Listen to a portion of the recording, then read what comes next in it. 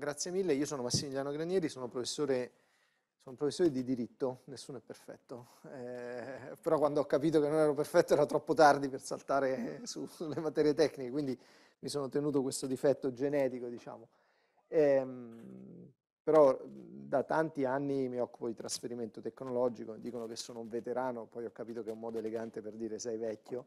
Eh, dal 2001 prima all'Università della California, all'ufficio di trasferimento tecnologico, poi per una parentesi di tre anni, poi sei anni alla Fondazione Torino Wireless, ehm, ero il responsabile di tutta l'area proprietà intellettuale e trasferimento tecnologico, di là abbiamo fatto poi uno spin-off che si chiama Mito Technology, che oggi gestisce un fondo di investimenti che si chiama Progress Tech Transfer nell'ambito della sostenibilità, quindi diciamo scientificamente e professionalmente ho visto un po' tutto lo, lo spettro di, di, delle attività che servono per il trasferimento tecnologico. E oggi il tema sarà appunto la fase di sfruttamento dei risultati della ricerca attraverso gli accordi, eh, accordi di sviluppo, di licenza, di proof of concept poi vedremo anche gli accordi sulla tutela della, della riservatezza, perché prima o poi, e, e credo negli ultimi tempi, più prima che poi, eh, chi fa attività di ricerca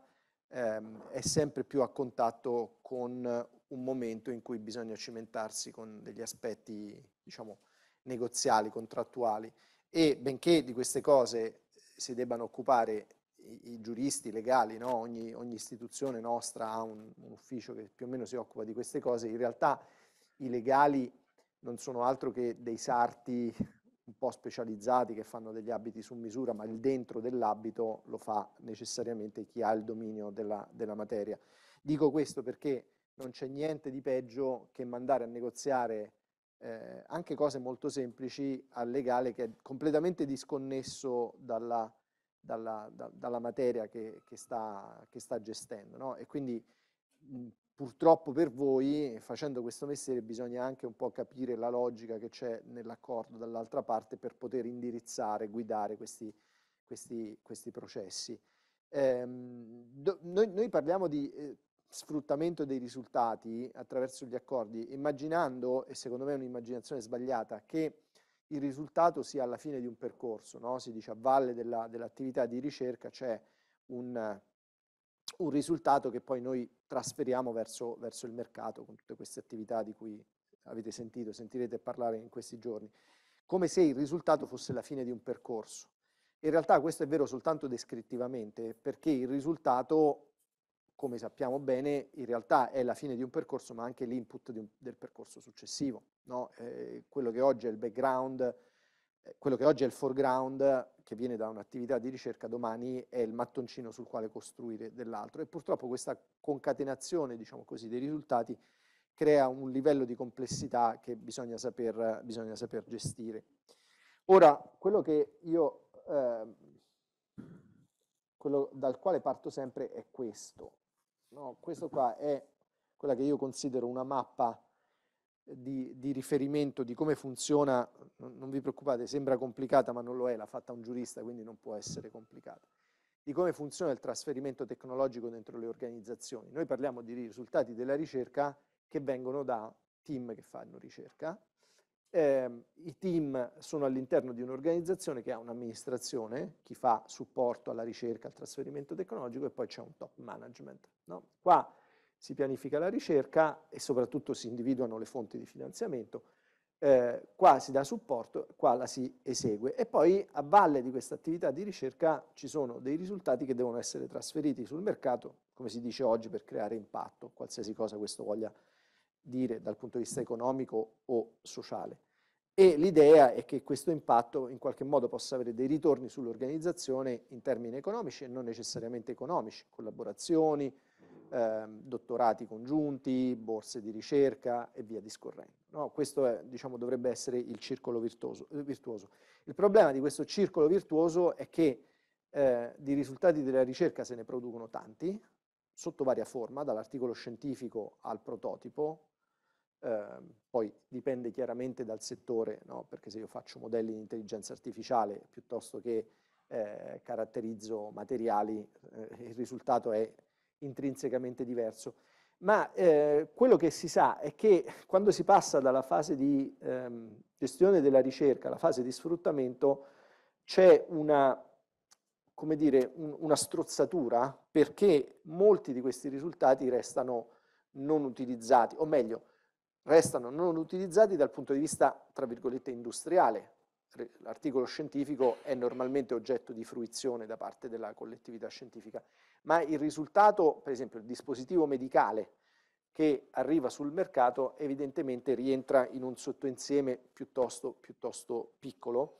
E qua c'è una legge, non è scritta, è una legge per cui eh, tanti risultati in realtà di tanti risultati pochi arrivano sul mercato, per tante ragioni, perché, non sono, perché sono semplicemente degli input intermedi, sono risultati che richiedono ulteriormente di essere elaborati, perché sono risultati di ricerca di base, quindi non ci dobbiamo preoccupare dell'impatto sul mercato, avranno un impatto persino più grande ma non ce l'avranno sul mercato, perché molti risultati sono immaturi e nessuno si fa carico di portarli a maturazione, serve la proof of concept, però non ci sono i soldi e così via, e soprattutto perché c'è un momento in cui l'istituzione istituzionalmente smette di fare ricerca, no? e eh, l'attività di sfruttamento è un'attività, è vero si dice all'interfaccia tra la ricerca e il mercato, ma molto più vicina al mercato e non è detto che l'istituzione voglia o possa o abbia le risorse, la capacità, la visione di fare trasferimento tecnologico. Perché vi sto dicendo queste cose? Perché hai voglia a fare accordi di trasferimento tecnologico, cercare di valorizzare dei risultati, quando per esempio il top management non crede in quel tipo di trasferimento tecnologico. No? Hai voglia a cercare eh, imprese se non sto in un'area industrializzata, la prima impresa ce l'ho a, a, 150 km perché sono, sono, sono in un'area eh, un depressa. Quindi noi dobbiamo tenere conto di, questo, diciamo, di questi elementi di contesto quando facciamo queste attività di valorizzazione perché sono varianti, variabili scusate, esogene che però incidono sulla buona riuscita dell'operazione. È chiaro che chi sta a Milano, in Lombardia, fa meno fatica di chi sta a... Non, sono stato dieci anni a Foggia. A Foggia? Ecco, a Foggia o a Camerino, diciamo aree meno industrializzate. Eh, è vero che i risultati hanno un'applicazione che non dipende dalla geografia, però è chiaro che se esco di qua e c'è l'ufficio di eh, Pfizer, eh, sarà più facile fargli vedere la mia molecola che se, da, se stanno da un'altra parte. Ora, nell'attività di valorizzazione e sfruttamento dei risultati, quello che fa, eh, quello che fanno gli, i nostri uffici di trasferimento di tecnologia sono genericamente, genericamente queste tre attività, cioè ci aiutano, aiutano i ricercatori a proteggere i risultati della ricerca, ehm, quando il risultato della ricerca non è semplicemente il paper scientifico, quello lo sappiamo benissimo come, come si tratta un paper scientifico, quello che bisogna fare, la submission alla, alla conferenza, i proceedings, la rivista e via discorrendo. Ma quando il risultato è un risultato candidato tra quei pochi ad arrivare sul mercato, eh, è necessario proteggere e voi avete fatto o farete, no, l'avete già fatto questo, diciamo, questo, questo percorso di generazione della proprietà intellettuale, cioè di, dire, copertura del risultato con, con dei titoli di proprietà intellettuale. Poi l'ufficio gestisce e poi l'ufficio è incaricato dello sfruttamento. No?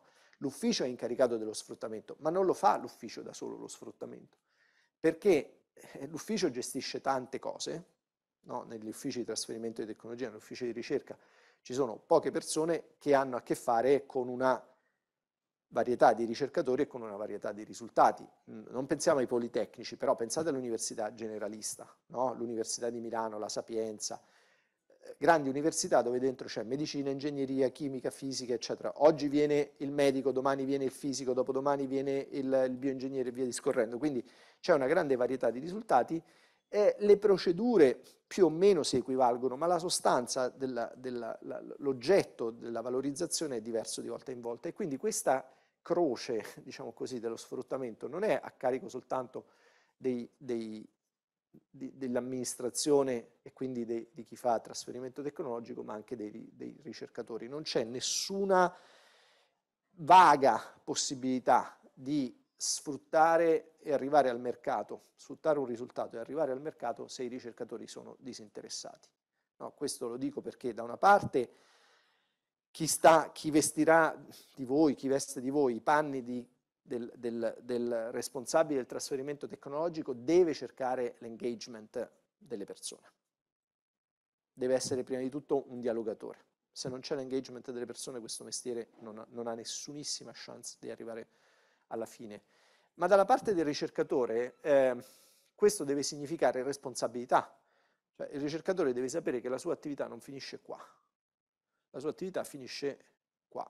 No, lo dico soprattutto oggi, perché noi siamo, veniamo da un'epoca in cui la ricerca era eh, la ricerca era una cosa il mercato era un'altra cosa, ma il, il, genoma del ricercatore sta cambiando, è cambiato e il ricercatore non è soltanto un soggetto bravo ad attrarre fondi e a eseguire, pianificare ed eseguire l'attività di ricerca, è anche un trasferitore di tecnologia. No?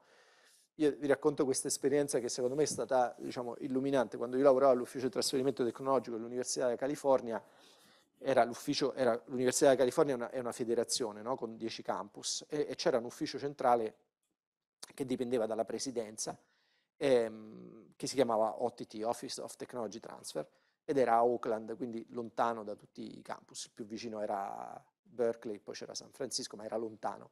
E, ehm, e noi gestivamo anche i brevetti di UC Santa Barbara. E a UC Santa Barbara c'era Alan Eager, che nel 1999 aveva preso il premio Nobel per la chimica.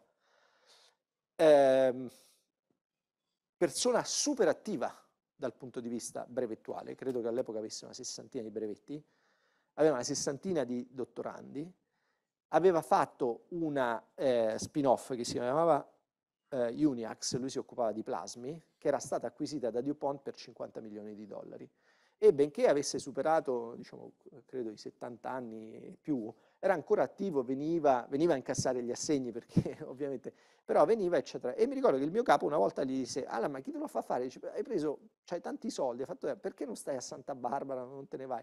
E lui dice, ma io, scusami, dice, io sono un premio Nobel, io ho 60 dottorandi in laboratorio, gli devo dare una prospettiva, gli devo, dare, gli devo insegnare un mestiere. No? Per dire, questa cosa mi colpì molto perché un signore che tutto sommato avrebbe potuto tirare i remi in barca e aveva già fatto tutto, aveva preso anche il premio Nobel, in realtà si sentiva ancora responsabile della, della sua posizione. E per lui l'attività era non faccio ricerca, ma raccolgo denari e poi mi occupo di che cosa stanno facendo i miei brevetti e aveva fatto lo spin-off e l'aveva aiutato a vendere. Quindi No, il, un po' quello è l'archetipo del nuovo, diciamo, di, di, del nuovo ricercatore, di come ognuno di noi dovrebbe, dovrebbe essere. Allora, detto questo, nell'attività, e poi scendiamo, nell'attività di nell'attività di sfruttamento, noi utilizziamo quattro tipologie di, chiamiamoli così, canali, canali di sfruttamento, canali commerciali, che riguardano lo spin-off. E ieri voi avete avuto Piccaluga, immagino che questa questo capitolo sia smarcato. Gli accordi di ricerca e sviluppo, perché l'accordo di ricerca e sviluppo è uno strumento di sfruttamento? Proprio per la ragione che dicevo prima, se il risultato è un intermedio e mi serve di combinarlo con altre conoscenze, l'accordo di ricerca e sviluppo è strumentale a che cosa? Ad avvicinarlo ancora di più ad un livello, oggi diremmo noi, ad un TRL più alto, di modo che divenga più appetibile e eh, facciamo rientrare in questa categoria per esempio gli accordi con i quali si fa la proof of concept con, una, con un'azienda. No? Ho individuato questa molecola, secondo me serve a curare il tumore alla prostata, ma sì, ma cioè, da qua alla, al farmaco sai quanto, facciamo una proviamo a vedere, oppure ho questo software che secondo me è una rete neurale che secondo me serve a capire da delle immagini, facciamo una proof of concept. Che cosa vuol dire? Facciamo un pezzettino di ricerca, che non è una ricerca di base, è una ricerca finalizzata a verificare, alcuni, a validare il principio, no? a provare il principio per capire se quella, quel risultato di ricerca è un candidato a fare un passaggio successivo verso, verso il mercato. E noi oggi, lo sapete, c'è quella, la scala del TRL, che è uno standard ormai a livello internazionale, dice proof of concept tra TRL 4 e TRL 5. Quindi quando la tecnologia è ferma a quel livello, ehm, mi serve di fare proof of concept, qualche volta questa proof of concept la devo fare con un terzo, può essere un terzo finanziatore, può essere un'impresa, può essere un altro collega. L'accordo che facciamo è, in realtà è un accordo che somiglia molto alla ricerca e sviluppo, forse più allo sviluppo che alla ricerca. No, però è sempre un accordo di collaborazione dove dobbiamo condividere delle risorse umane, materiali, di relazioni per far avanzare questo risultato sul mercato. Quando invece il risultato è già di per sé più maturo, non dico maturissimo, ma più maturo, le, le, le strade alternative che si aprono sono quella della vendita e quella della licenza. No? Vendita e licenza eh, di, di, proprietà intellettuale sono simili alla vendita e all'affitto di, di, di, beni fisici. No? La vendita vuol dire ti cedo tutto, ti cedo tutto che cosa significa? Ti cedo la proprietà intellettuale e quello che la proprietà intellettuale rappresenta, cioè il brevetto è quello che c'è scritto dentro, evidentemente. Te lo vendo, te lo cedo, vuol dire mi privo definitivamente di questo risultato, oppure te lo concedo in licenza, vuol dire te lo affitto, sto utilizzando una terminologia non, non ortodossa, cioè ti metto in condizione di utilizzarlo, se è già maturo di utilizzarlo commercialmente, se è ancora immaturo di fare tutte quelle attività di completamento della, della, della tecnologia per poi, per poi venderlo. Nel caso della vendita non sono più proprietario, nel caso della licenza continuo ad essere proprietario e ho un affittuario. Con la differenza no, che se ho un immobile lo posso affittare ad una persona soltanto, se ho proprietà intellettuale la posso affittare a tanti soggetti contemporaneamente.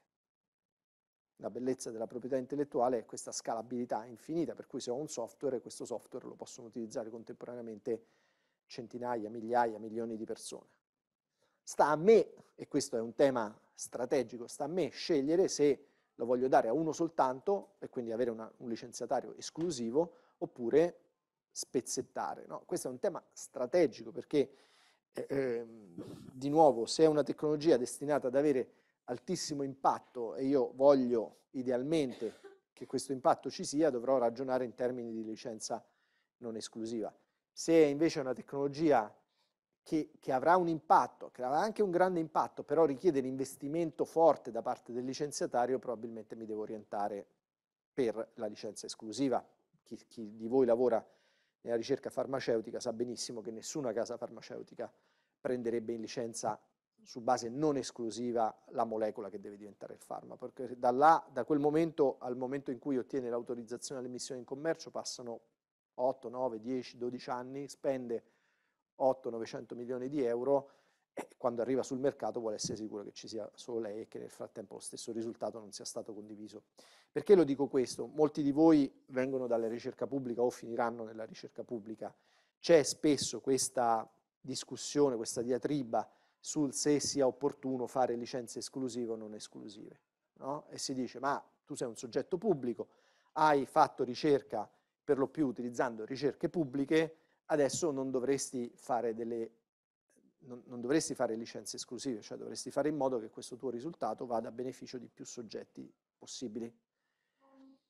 Ehm, perché se c'è soltanto uno che beneficia, evidentemente vuol dire che quel soggetto si sta appropriando di tutto l'investimento che è stato finanziato anche dal pubblico. E questo ragionamento è in parte sensato, eh, in parte no, perché si scontra con il fatto che al soggetto, ehm, al licenziatario, al soggetto al quale io do la tecnologia, eh, non sto dando un prodotto, sto dando una tecnologia e c'è una bella differenza perché il prodotto si vende, la tecnologia va trasformata in prodotto e in mezzo, come dimostra la ricerca farmaceutica, ci possono essere tantissimi investimenti. Quindi è inutile dire io faccio per forza licenze non esclusive se dall'altra parte non troverò mai un interlocutore. No? Che cosa è meglio?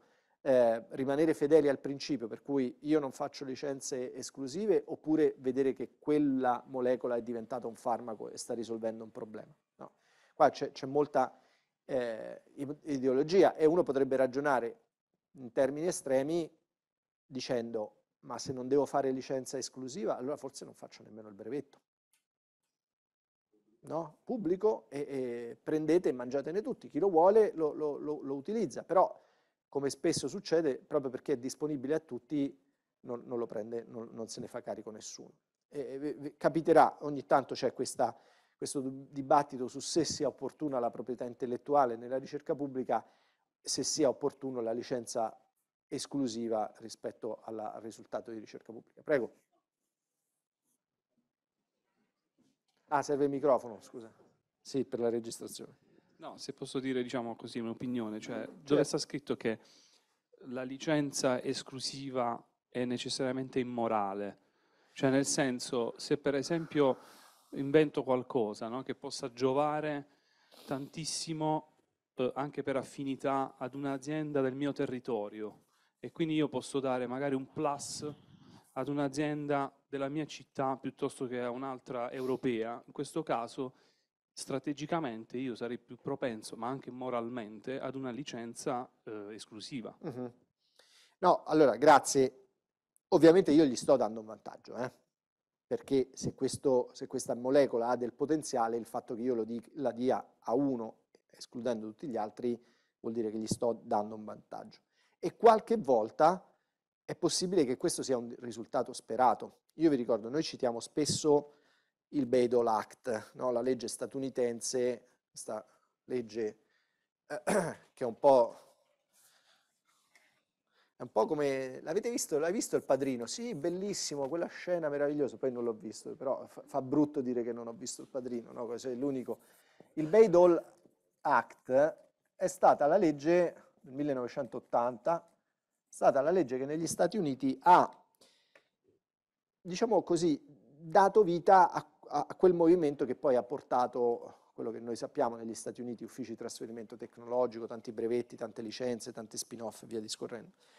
E il Bayh-Dole, diciamo, io il padrino l'ho visto quest'estate per la prima volta in vita mia, quindi, però il Bayh-Dole lo conosco bene. Il Bayh-Dole è una legge piccolissima, brevissima, no? Che dice due cose. Dice, quando l'ente di ricerca è finanziato con risorse federali, federali, l'ente finanziato è titolare dei risultati della ricerca. Non il soggetto finanziatore, ma il soggetto finanziato. Quindi io sto a Berkeley, il Dipartimento dell'Energia o il Dipartimento del- dei Trasporti mi danno un grant per fare ricerca, viene fuori un brevetto, il brevetto è di UC Berkeley. Ok? Prima del Bayh-Dole la proprietà intellettuale era del soggetto finanziatore.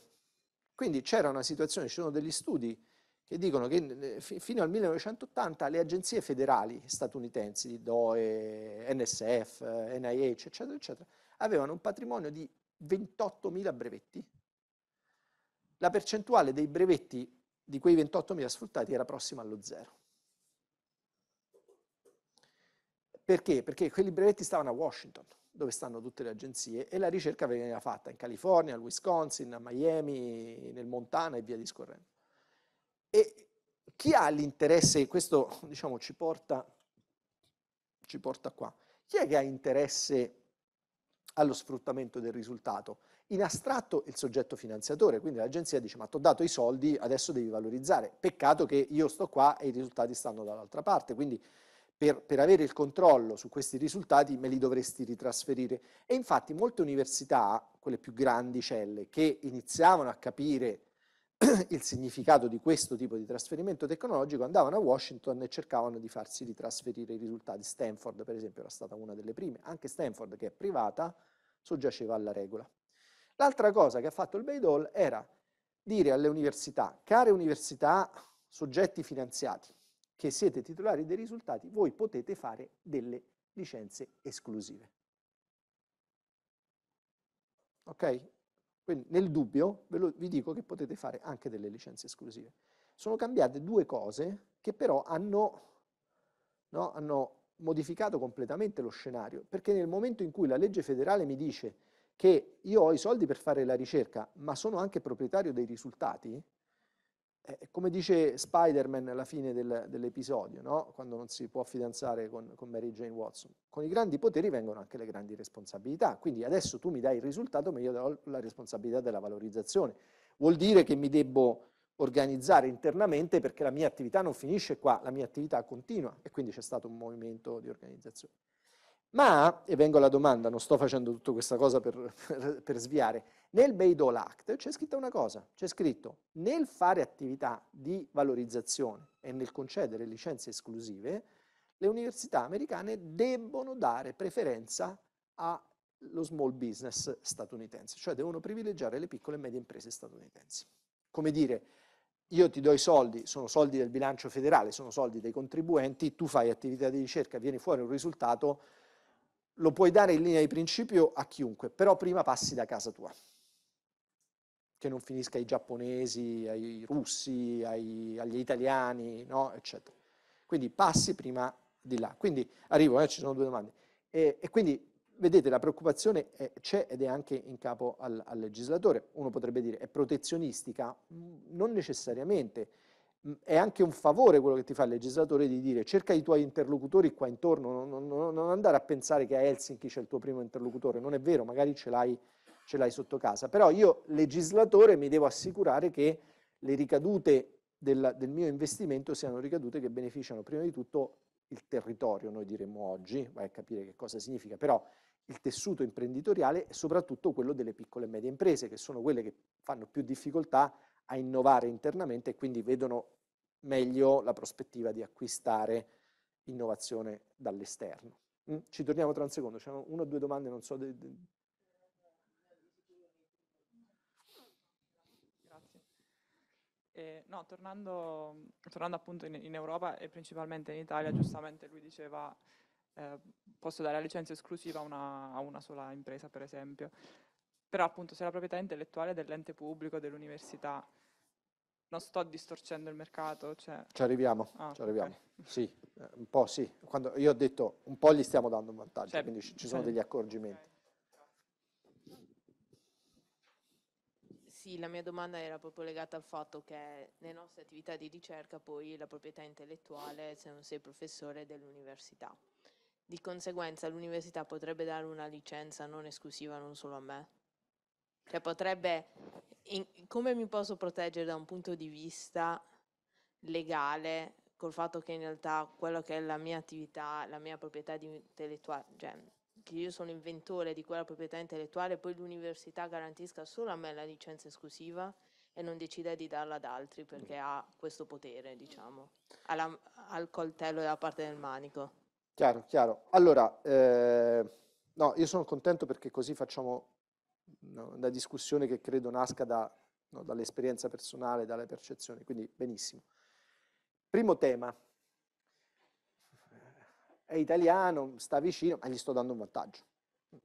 Allora, questo, diciamo, l'attribuzione del vantaggio solitamente non è, è un problema, ma non è un problema che solleva, diciamo, delle necessità di risposte normative, lo, fa, lo, lo, il lo solleva il problema soltanto in un caso, e cioè quando eh, c'è il rischio che la licenza esclusiva sia una forma di aiuto di Stato. Mm, che cosa significa aiuto di Stato? Significa che con i soldi dei contribuenti selettivamente io ho individuato un soggetto e gli ho dato delle risorse eh, falsando la concorrenza, perché gli altri se le sono dovute guadagnare, a lui le ho date a valere sulla fiscalità generale. Questo non va bene. Non va bene soprattutto in Europa perché se ciascuno Stato selettivamente eh, favorisce alcune aziende o le sue aziende nazionali, capite che il concetto stesso di mercato unico, di mercato interno, eh, fallisce. Eh, quando è che c'è aiuto di Stato? L noi abbiamo per, chi, per quelli di voi, però questa è una cosa già molto tecnica, c'è una comunicazione della Commissione europea sugli aiuti di Stato alla ricerca e sviluppo che dice le operazioni di trasferimento di risultati della ricerca pubblica alle imprese possono configurare aiuto di Stato, ehm, un aiuto di Stato che si dice aiuto indiretto, aiuto di Stato indiretto, cioè io non sto dando soldi all'impresa, sto dando soldi all'ente pubblico, il quale ente pubblico poi gli riversa i risultati e quindi eh, il beneficiario finale del mio finanziamento è il soggetto, soggetto privato. Allora, il legislatore dice, se, chiaramente bisogna, il legislatore europeo, la Commissione dice, bisogna valutare di caso in caso, però non c'è, non c'è, si presume che non ci sia aiuto di Stato in alcuni casi, che la, comunicazione indica. Primo caso, i risultati della ricerca appartengono al soggetto finanziato. Quindi non sto facendo la ricerca e dicendo che quando i risultati vengono fuori appartengono direttamente all'impresa. Sono i miei in prima battuta. Se sono i miei ci sarà un atto di ritrasferimento, se ci sarà un atto di ritrasferimento verosimilmente avverrà in cambio di qualche cosa. Perché capite bene, se il soggetto beneficiario finale, cioè l'impresa, paga qualcosa, non c'è aiuto di Stato, no? sta, sta, comunque paga, dando un corrispettivo. Seconda ipotesi è quella in cui il, i risultati siano condivisi. Quindi l'ente non si spoglia del risultato, ma va in condivisione, in cotitolarità, eccetera, eccetera. Terza ipotesi è quella in cui i risultati siano trasferiti all'ente, che però paga un prezzo di mercato, dice la, la, la norma. No? Quindi non c'è un aiuto, ma c'è un corrispettivo, quindi sta pagando e non sta pagando, dice vabbè mettiamo 5 euro così facciamo, no, dice un prezzo di mercato la comunicazione. Vai a capire che cosa significa prezzo di mercato rispetto alla proprietà intellettuale dove un mercato non c'è. La comunicazione dice si considera un prezzo di mercato quello che è stato negoziato tra le parti a condizioni di mercato, cioè una, ci deve essere stata una negoziazione successiva al momento in cui il risultato è venuto fuori. No? Successiva al momento in cui il risultato è venuto fuori, l'ente proprietario del risultato adesso ha un'idea di quanto vale questo, questo, risultato e magari è disposto a fare uno sconto ma non è disposto a regalarlo, che è quello che facciamo tutti noi, no?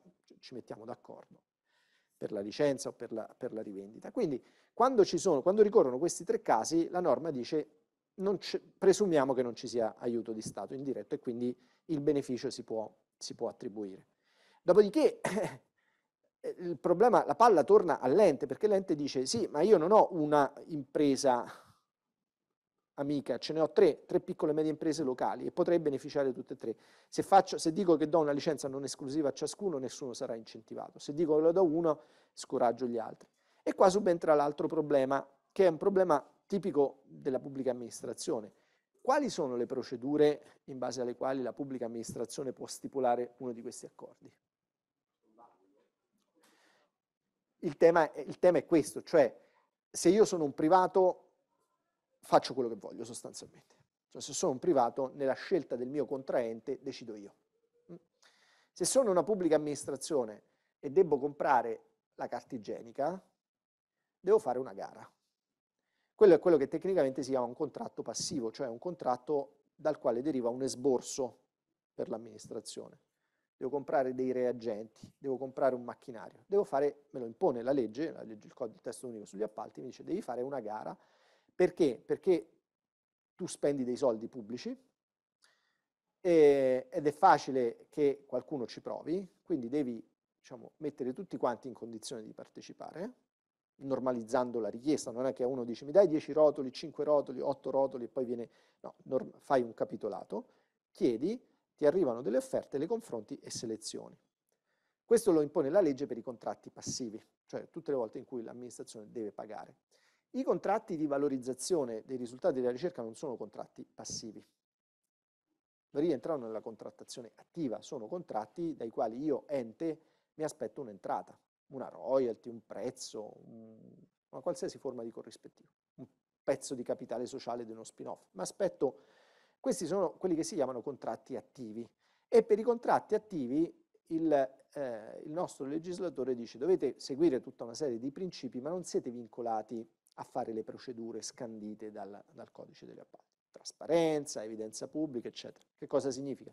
Significa che se io ricorro in quella situazione per cui ho tre piccole e medie imprese del territorio, alle quali astrattamente potrei dare questo, questo uh, beneficio, chiamiamolo così, eh, dovrei, dovrei adottare una procedura interna che metta tutte quante almeno nella condizione di sapere che io sto per attribuire questo beneficio e metta tutte e tre nella condizione quantomeno di dire io sono interessato.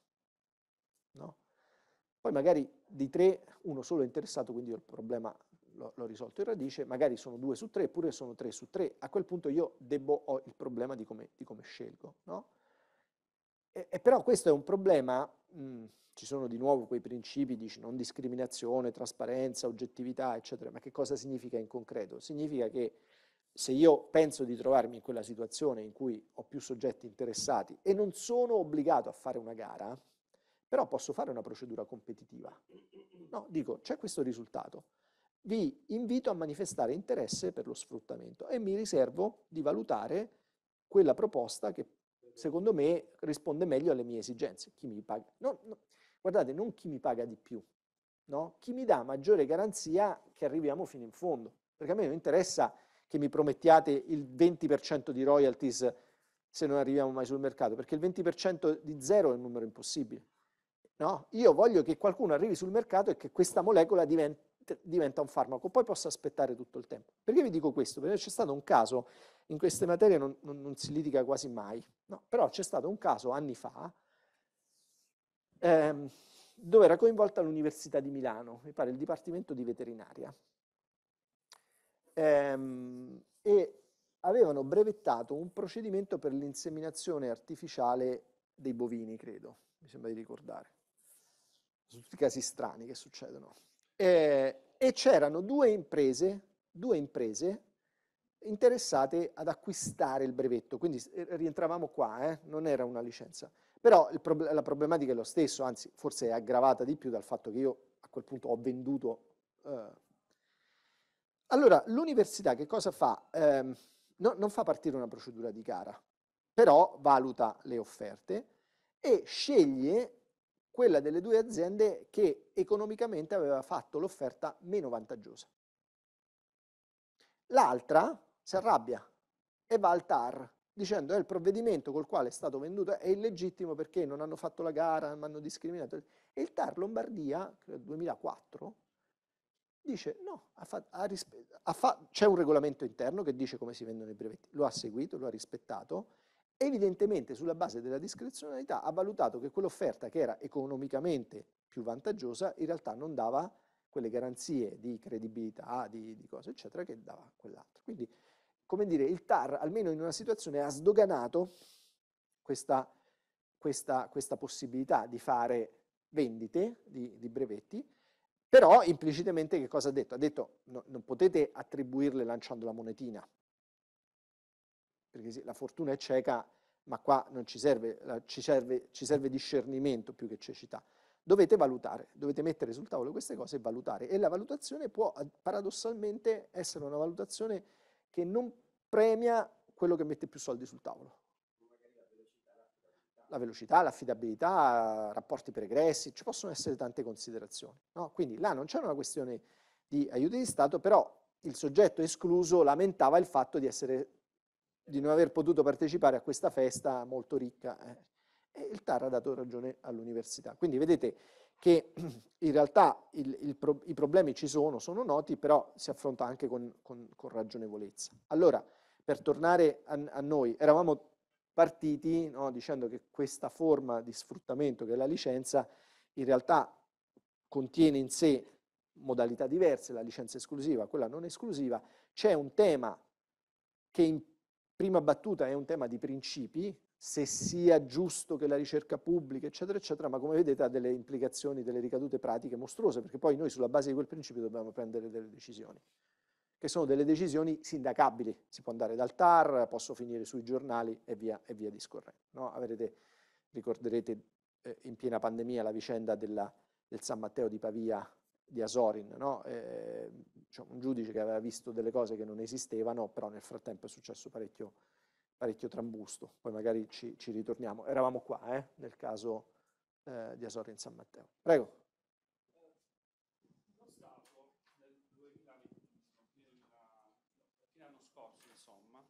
ha bandito i, un bel po' di uh, borse da ricercatore, RTDA, i famosi PON React EU, cui con cui è finanziato per esempio il mio contratto da ricercatore, e questi contratti uh, erano finanziati per i due terzi dal Ministero e un terzo dall'università e prevedono diciamo così, un collegamento ad un'azienda, per cui noi siamo tutti obbligati a fare questi sei mesi in questa azienda collegata.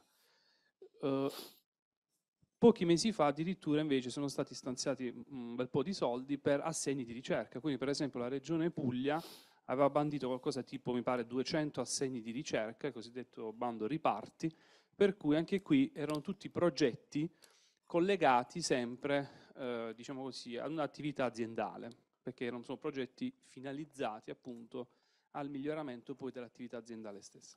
Ora, in questi casi potremmo parlare di un aiuto di Stato indiretto e se sì, come sono state scelte queste, diciamo, le aziende, i progetti? C'è stata fatta una, un, una procedura di gara eh, appunto all'inizio per poter eh, magari scegliere determinate aziende piuttosto che altre, c'è stato un bando, oppure così ha fatto tutto l'università, chi ha presentato il progetto l'ha vinto e basta.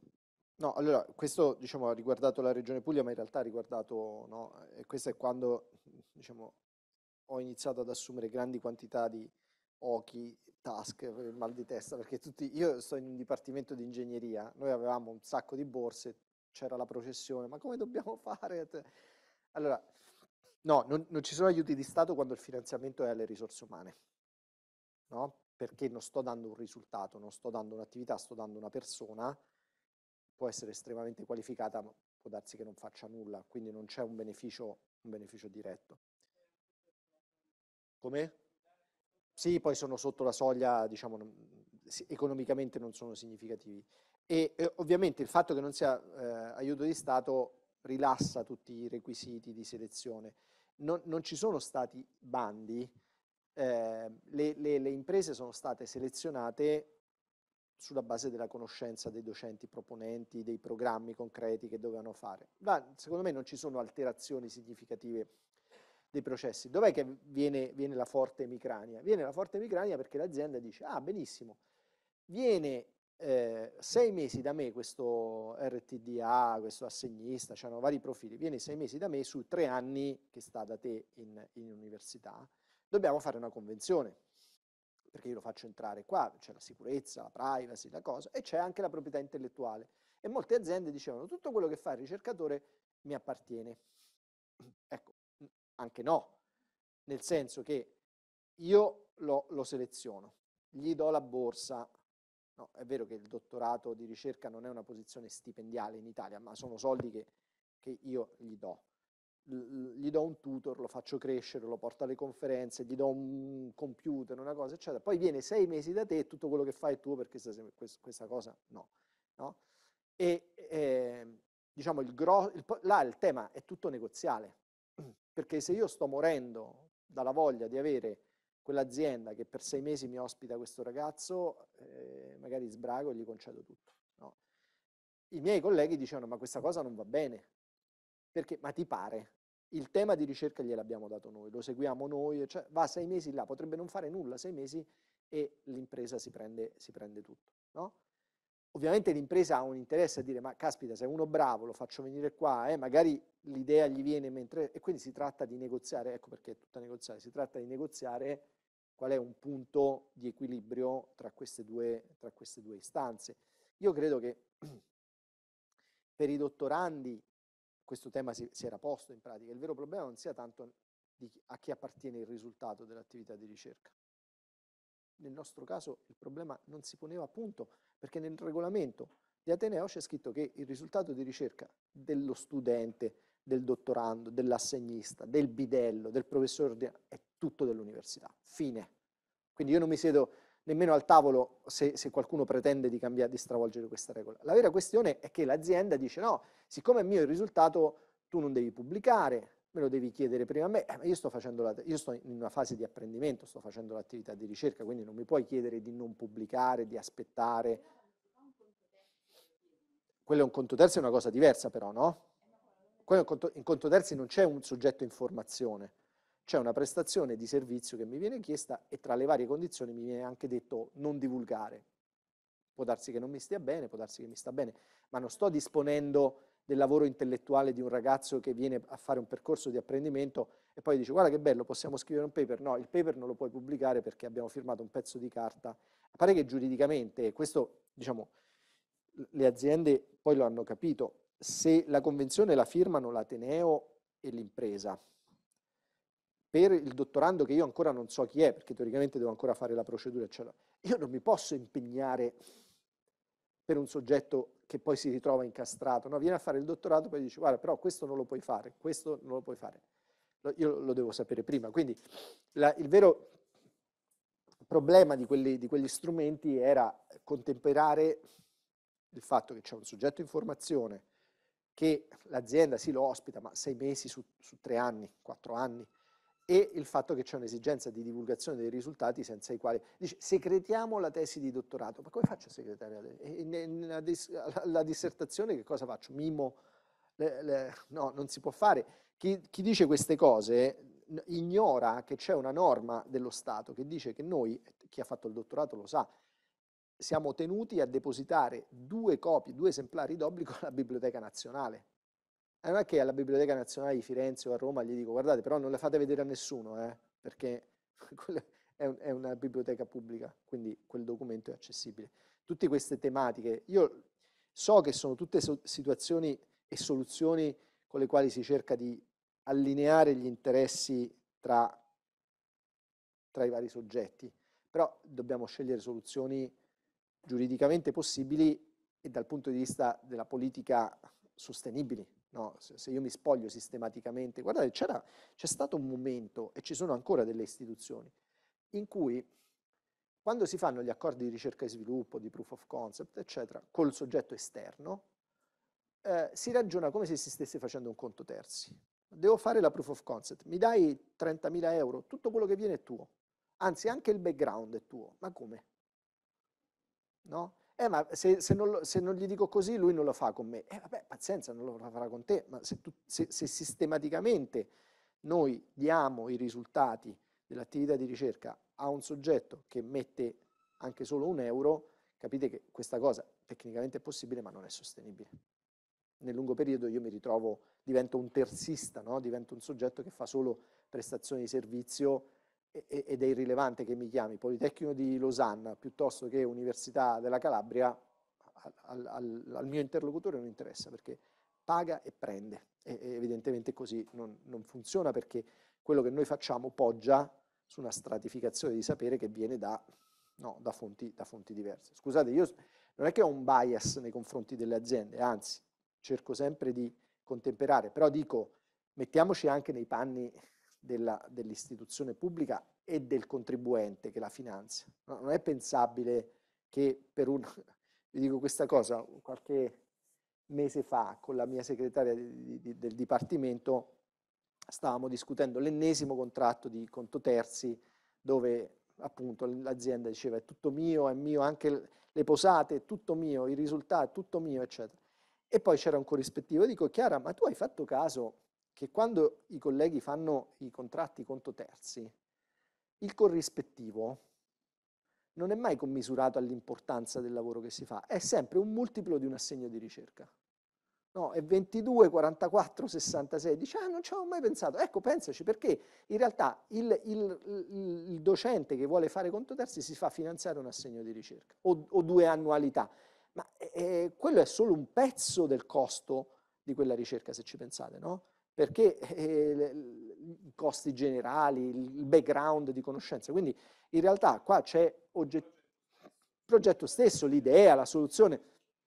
Allora, un conto è finanziare una parte dei costi diretti della persona che ci lavora, una parte è finanziare il progetto, tenuto conto del background, tenuto conto anche del, diciamo, del nome dell'istituzione, no? ma conta un fatto che mi sono rivolto al Politecnico di Milano piuttosto che all'università di non lo so, cioè, conta, certo, se sei venuto qua c'è una garanzia di serietà, ci sono tutta, tutta, una serie di fattori che gli enti debbono iniziare a, a prendere in considerazione, indipendentemente dal fatto che ci sia aiuto di Stato, discriminazione, eccetera. Fa parte della, dire, della buona pratica organizzativa e manageriale quella di dire io amministro un bene, che sia pubblico o privato, mi preoccupo di, dire, di dargli il giusto valore, di valorizzarlo nel senso di dargli un valore indipendentemente dalla capacità traslazionale. Se vieni qua, qua noi valiamo qualche cosa.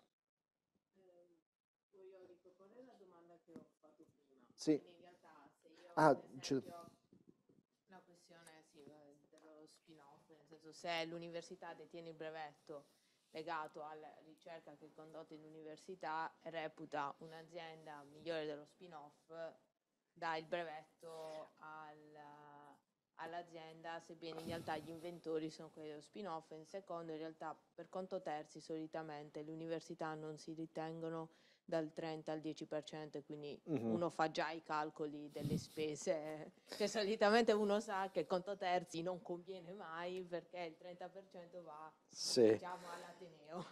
Allora, no, mi ero dimenticato di rispondere a questa domanda. La domanda è, eh, diciamo, nel momento in cui la proprietà intellettuale appartiene all'istituzione e non al ricercatore che la genera, il ricercatore rispetto alla proprietà intellettuale è un terzo.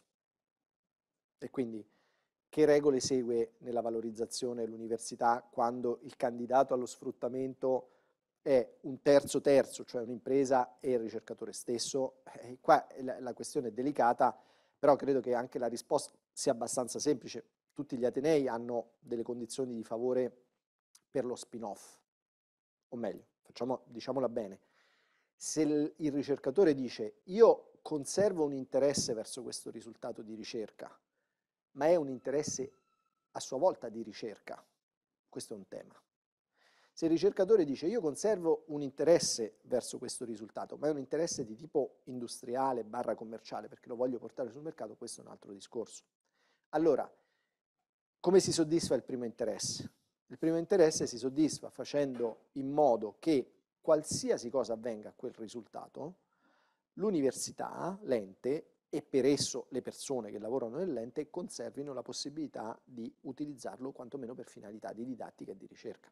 Quindi anche a fronte della più esclusiva delle licenze esclusive che io faccio con la più grande delle aziende più grandi, dirò sempre mi riservo di sfruttare questo risultato per ulteriori attività di ricerca. Cioè se con quel risultato voglio, è un pezzo di background di un futuro Horizon Europe, non devo venire a chiederti il permesso, me lo sono già preso nel contratto. No? Così come se voglio illustrare questo brevetto a lezione per spiegare come abbiamo risolto un problema, non sto violando la licenza. Quindi questa, questa, questa riserva tecnicamente è molto importante, qualche volta noi negli Atenei ce lo siamo dimenticato dicendo vabbè facciamo licenze esclusive e poi dice ah ma è come nei contratti di edizione, no? Ho dato il contratto di edizione, il Dipartimento ha fatto la collana di studi umanistici, archeologici, eccetera, poi dice adesso ci serve la copia in digitale da mettere in biblioteca e l'editore dice no, lo puoi fare, ma il libro è mio, sì ma mi hai ceduto tutti i diritti, quindi attenzione a fare questo carve out, no? a ritagliarsi degli spazi di libertà anche nei, nei confronti della, delle attività di licenza.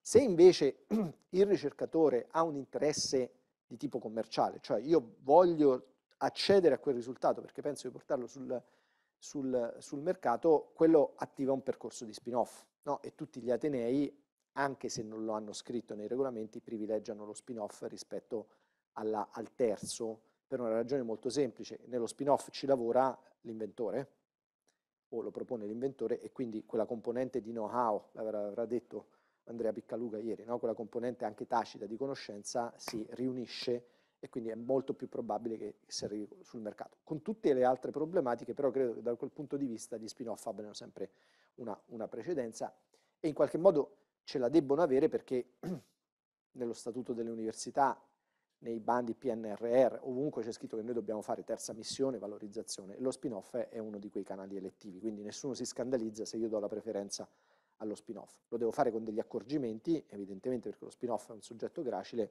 ma lo posso fare, lo posso fare. Allora, ehm,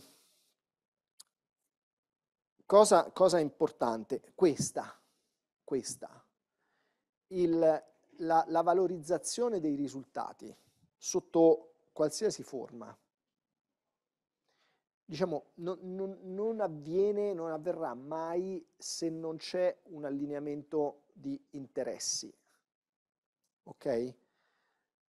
e questo di nuovo è un discorso di principi, ma non è un discorso di principi, perché noi dovremmo a un certo punto scrivere un accordo di sfruttamento e nell'accordo gli interessi si compongono. Se gli interessi non si compongono, l'accordo non, non, non, si fa o si fa sbilenco proteiforme. Allora, quando, perché io ho fatto a fette l'istituzione? Perché quando noi teniamo presente che nella valorizzazione non c'entra solo la ricerca, ma c'entra anche l'amministrazione, c'entra anche il top management, c'entra anche l'impresa o il finanziatore, vuol dire che il quadro di interessi si complica. Perché noi abbiamo una situazione in cui io devo andare da qualcuno che mi dà delle risorse. Può essere un fondo di investimenti che mi mette i soldi nel capitale dello spin-off, oppure un'azienda con la quale faccio proof of concept, oppure una grande impresa che paga, fa la preclinica, poi la fase 1, la fase 2, arriva sul mercato col prodotto farmaceutico. No? Quindi questo signore è un signore che ci deve mettere tanti soldi. Io dico, questo signore ha la proprietà delle risorse che servono per andare avanti. Poi c'è un soggetto che è eh, diciamo, il proprietario del, del processo e questo soggetto è questo, è l'ufficio. Perché chi negozia l'accordo di sfruttamento è tipicamente l'ufficio. Quindi è l'ufficio che deve essere coinvolto. Che interesse ha l'ufficio o l'amministrazione in generale? L'amministrazione ha un interesse a che l'azione amministrativa sia corretta e che l'attività di valorizzazione porti dei risultati quali, quali che siano secondo la concezione dell'ente. Poi c'è l'owner della tecnologia. Chi è l'owner della tecnologia? È il ricercatore, perché il brevetto può appartenere a chiunque, ma chi ha fatto l'attività sperimentale, chi la sa far progredire, è il ricercatore. Chi ha della proprietà intellettuale? Dell'ente. La proprietà intellettuale è qua, il processo è qua, la tecnologia è qua e, e, e le risorse sono qua. Allora, se non si allineano questi interessi, non c'è verso di portare a casa un'operazione di valorizzazione minimamente significativa.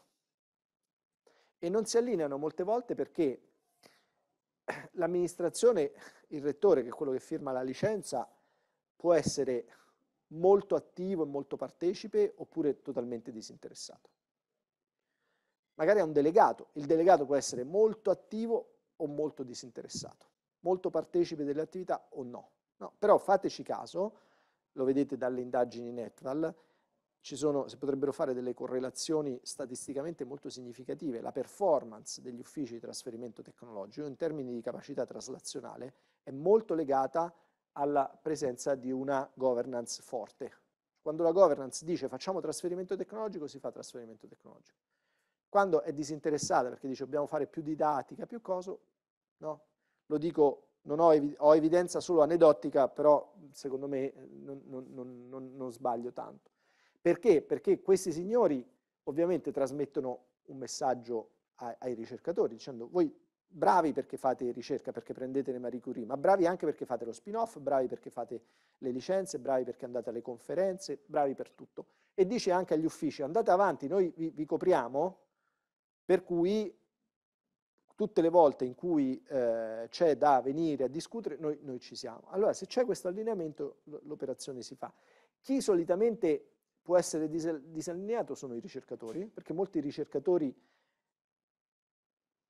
si percepiscono come non necessariamente da coinvolgere nell'attività di sfruttamento, quella roba amministrativa, no? Quante volte dicono bisogna piazzare i brevetti, anche questa terminologia mi produce delle... No, sì, ma anche delle forme molto più, come dire, irruente. Piazzare brevetti, ma piazzare.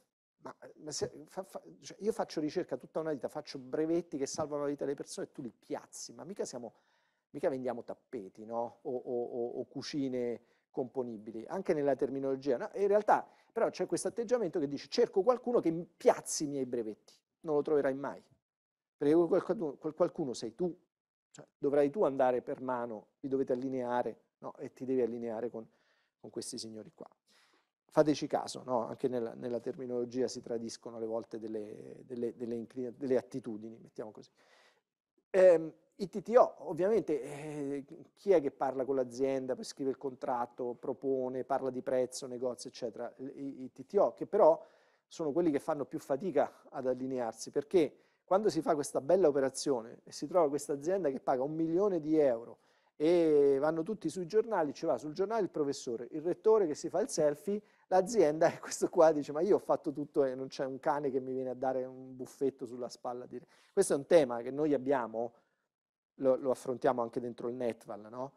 eh, della legittimazione degli uffici di trasferimento tecnologico. Alla fine queste persone sono degli amministrativi, si espongono molto all'attività che fanno, ma alla fine guadagnano sempre la stessa somma indipendentemente dal risultato. Mentre io, se io sono un ricercatore posso avere dei pezzi di conto terzi, no? l'impresa non ha questi problemi, il rettore, i delegati non hanno questi problemi, questi soggetti ce li hanno no? e quindi qualche volta non si può vivere solo di motivazione intrinseca, sta scritto nel Vangelo, non di solo pane vive l'uomo, però anche un po' di pane, no? Eh, perché allora, e, qua infatti c'è un, c'è tutto, guardate, quando io andai a lavorare all'Università della California, presi un ufficio molto bello e il, quel mio tutor aziendale, tra virgolette, disse, guarda, speriamo che ti porti fortuna, dice perché qua ci, abit- ci, abitava, ci abitava perché ci passava molte ore, cioè, ci lavorava un collega che, siccome era il 2000, era l'anno del, no, delle start-up, dice, è andato a lavorare per una start-up, se l'è preso una start-up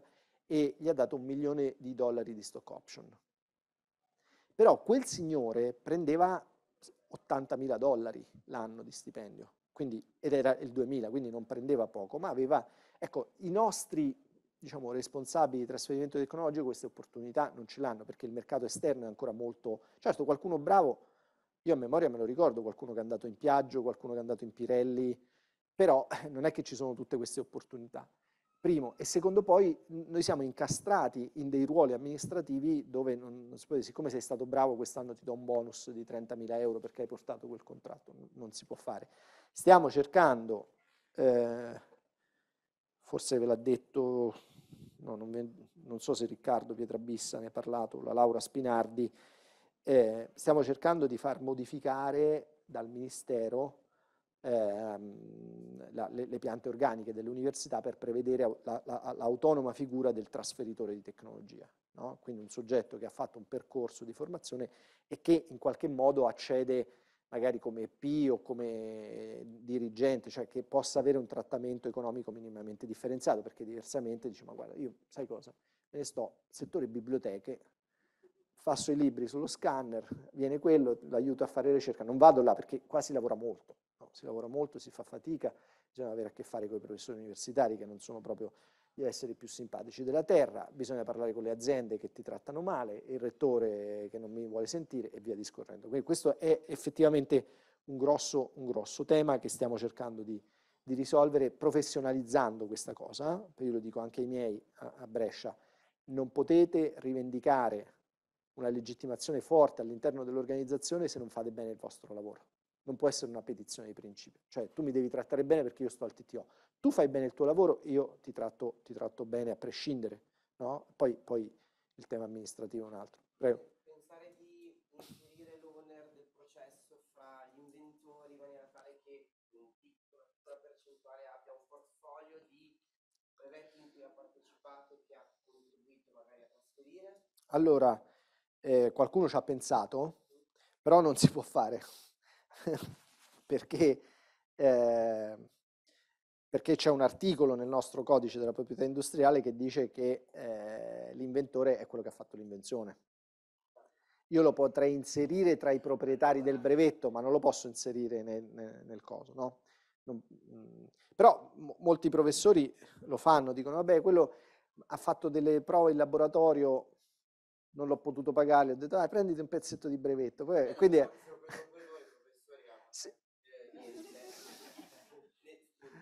No, no, stavo guardando.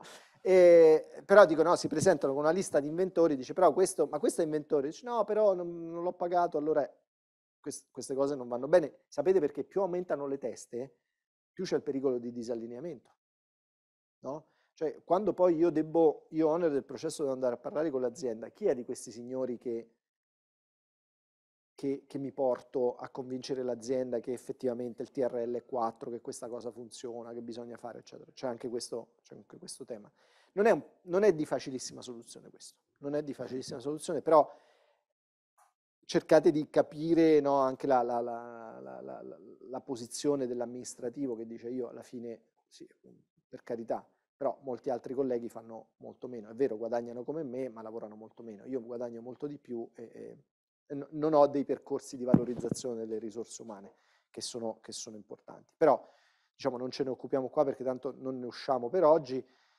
Sapete che però ci sono state delle misure anche ministeriali di incentivazione, bandi proof of concept, eccetera. Stiamo cercando istituzionalmente di far capire questo problema e di eh, legittimare il, il, questa figura professionale. Non è facile perché alcuni di voi vengono dagli RCCS. Gli RCCS non dipendono dal Ministero dell'Università, dipendono dal Ministero della Sanità e hanno una loro norma, un loro status giuridico dei cosi. Le università dipendono da, dal Ministero e lo status è quello definito dalla legge Gelmini e dal testo unico dei dipendenti. Il CREA è il Dipartimento d'Agricoltura, Enea è un altro ministero ancora. Quindi, siccome questi enti sono appartenenti o vigilati da tanti ministeri e questi ministeri hanno i loro, loro ambiti normativi, è difficile introdurre trasversalmente una, un ruolo, il ruolo unico dei trasferitori di tecnologia. No, è, è complicato. Si dovrebbe fare un contratto nazionale, infatti stavamo pensando, poi è caduto il governo, di parlare con il Ministero della Funzione Pubblica per dire che magari a, livello amministrativo si riesce a creare una trasversalità eh, come il tecnico di laboratorio, non lo so, come queste figure, però non, non, non, ci siamo riusciti. Però sappiate che questo è un tema. No, sappiate che questo è un tema. Allora, ehm, cioè, assolutamente.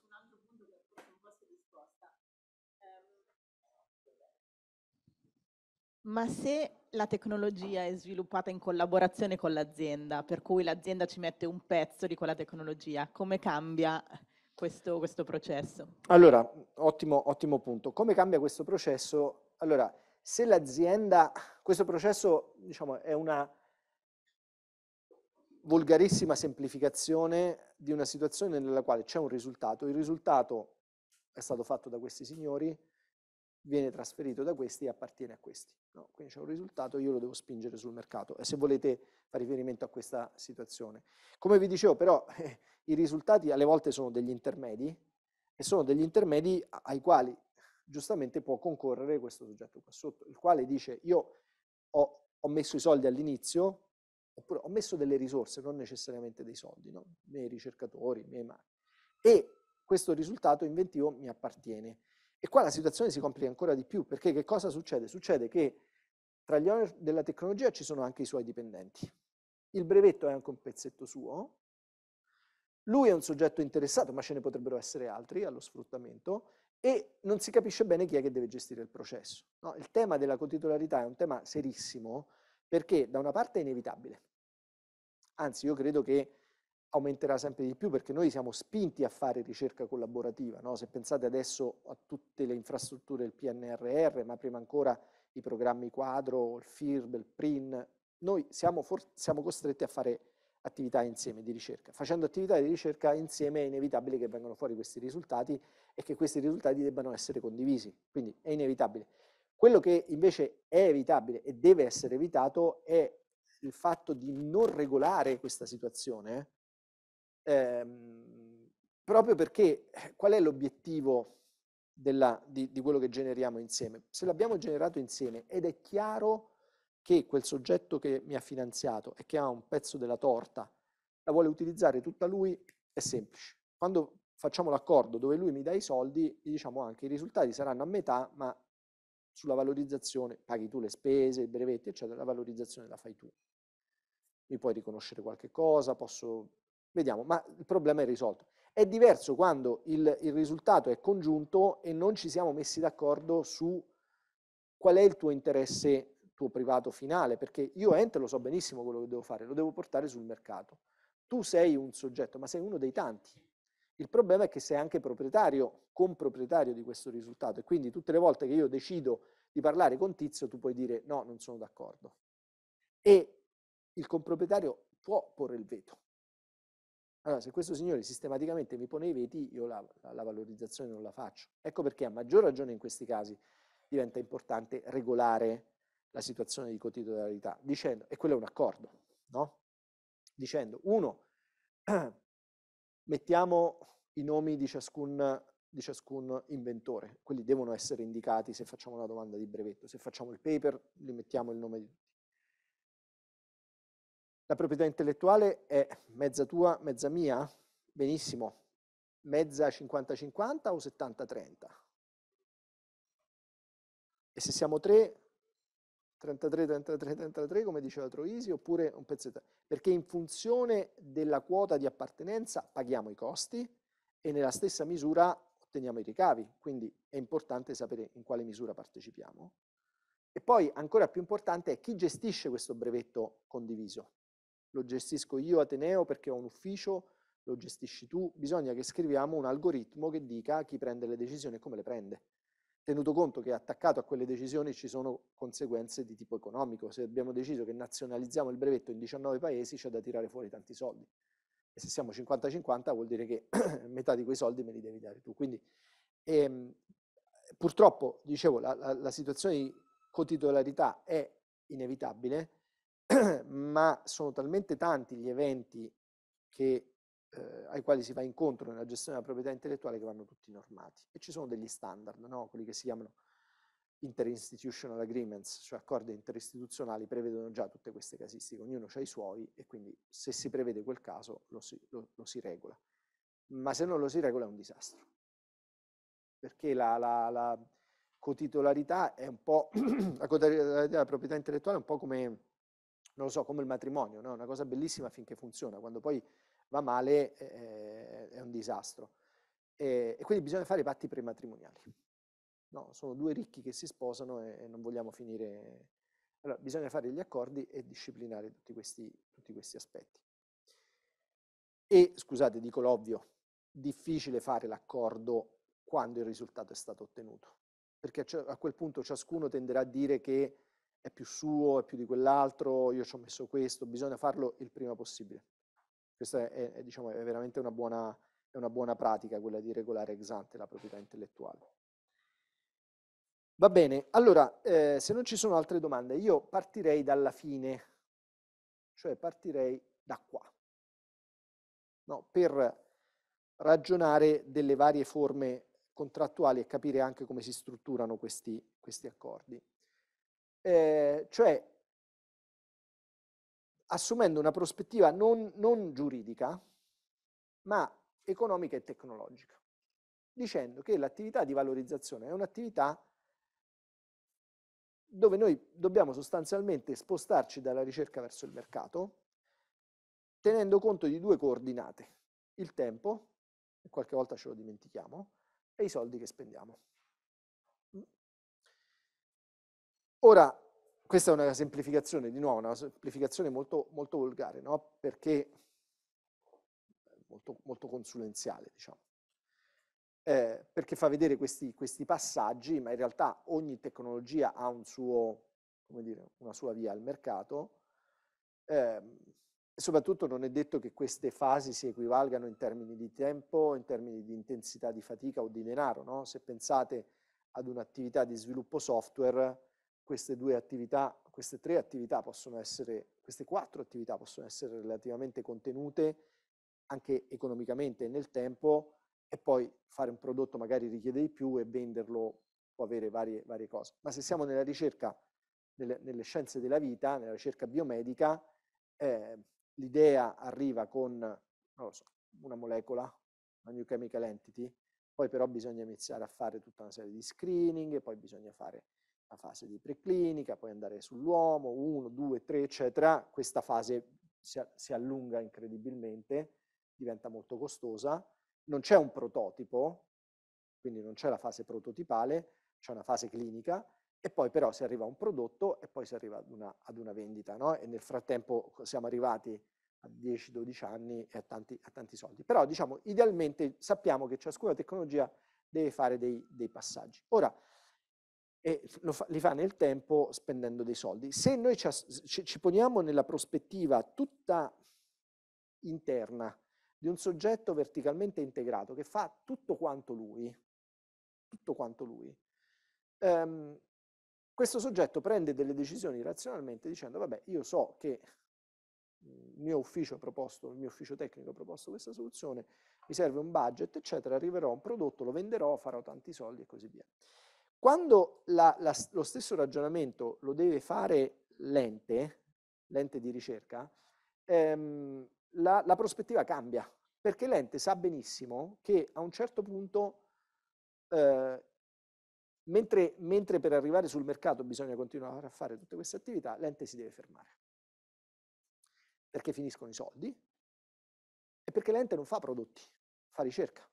Quindi a un certo punto l'attività si, si ferma. Quando si ferma?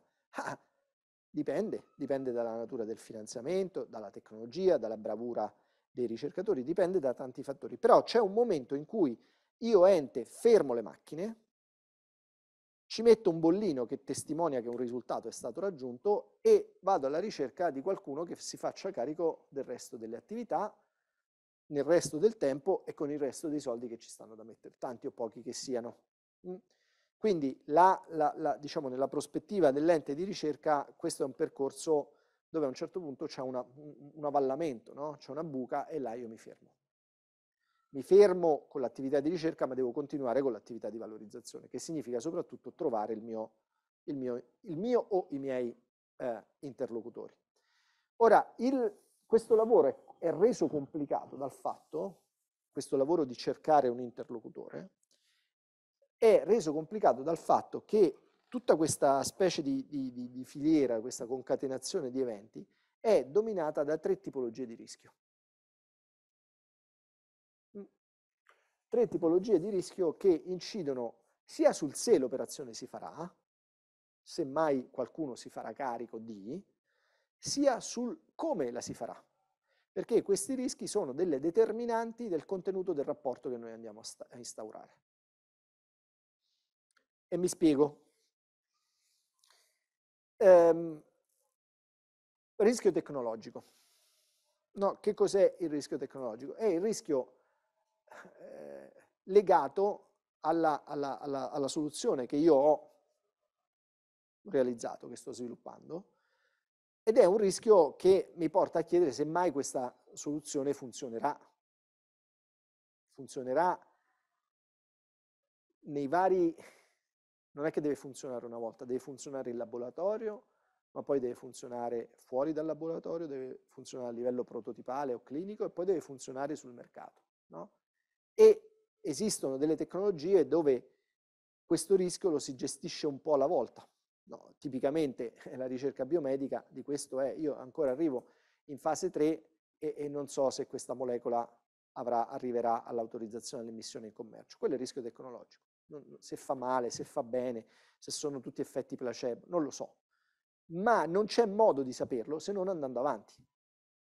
Posso utilizzare delle tecniche di simulazione, piattaforme, eccetera, ma che, che mi, un po' mi riducono, ma quando l'attività è regolata, l'attività di gestione del rischio tecnologico è regolata, io non posso fare altro che andare avanti. Per far scendere questa, questa curva, che ovviamente scende man mano che io vado da un passaggio a quello successivo. E, e qua però il rischio tecnologico non va mai a zero, asintoticamente sta sempre là un pochino.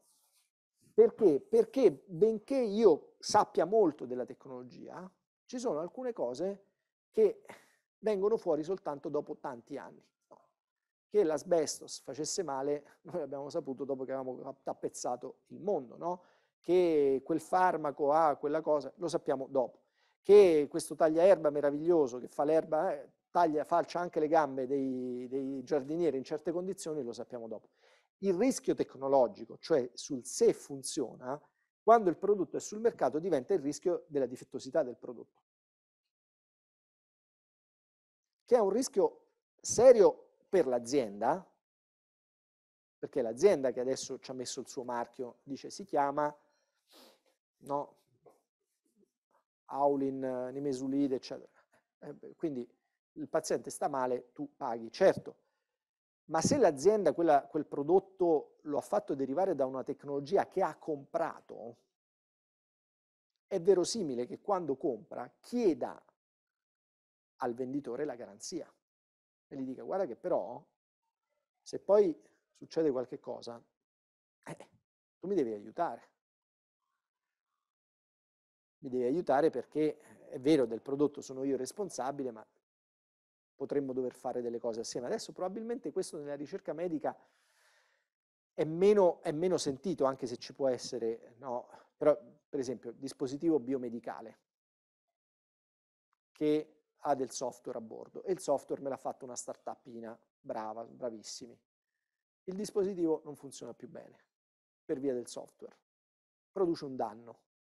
Io pago, ma il software me l'hanno dato quei signori, quindi è verosimile che nel contratto con il quale io ho acquisito quella risorsa mi sia fatto dare delle garanzie, quantomeno me lo sostituisci, mi, mi fai il debug, qualche cosa. Perché vi dico questo? Perché nei contratti di trasferimento di tecnologia molte volte ci sono dei capitoli, anche molto lunghi, in cui il licenziatario, il compratore della tecnologia chiede al licenziante proprietario della tecnologia delle garanzie che sono garanzie che riguardano il rischio tecnologico anche dopo l'immissione sul prodotto in commercio. Per esempio, se io so, sono soggetto ad una campagna di richiamo, tu devi venire con me a, a verificare se il prodotto è legato al software oppure alla, alla, macchina che ho fatto io, al software che hai fatto tu. No? Capite? Quindi,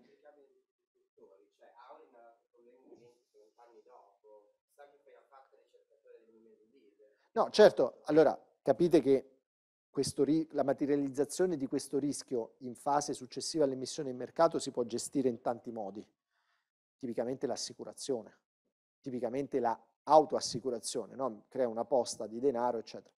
Ma non è tanto il risarcimento del danno, è che io adesso ho 10.000 ecografi sul mercato che danno tutti un, un problema e quello che diciamo, il paziente non, non, non verrà più curato con l'ecografo, non, non verrà più utilizzato l'ecografo ma gli ospedali diranno, ma adesso io che ci faccio? Me li devi aggiustare.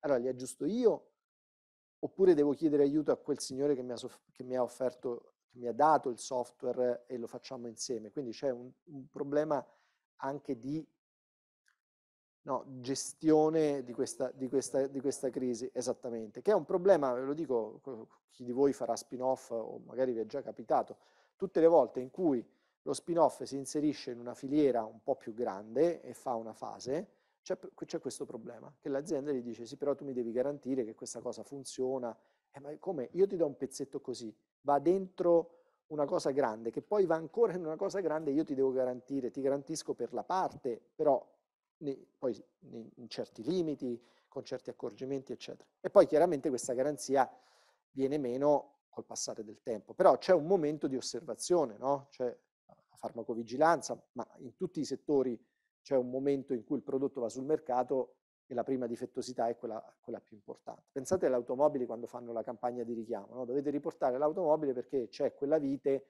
che non tiene più, ma quella vite non è detto che l'abbia fatta Stellantis, magari l'ha fatta un fornitore di un subfornitore di un'altra cosa e quindi tutta la filiera si deve...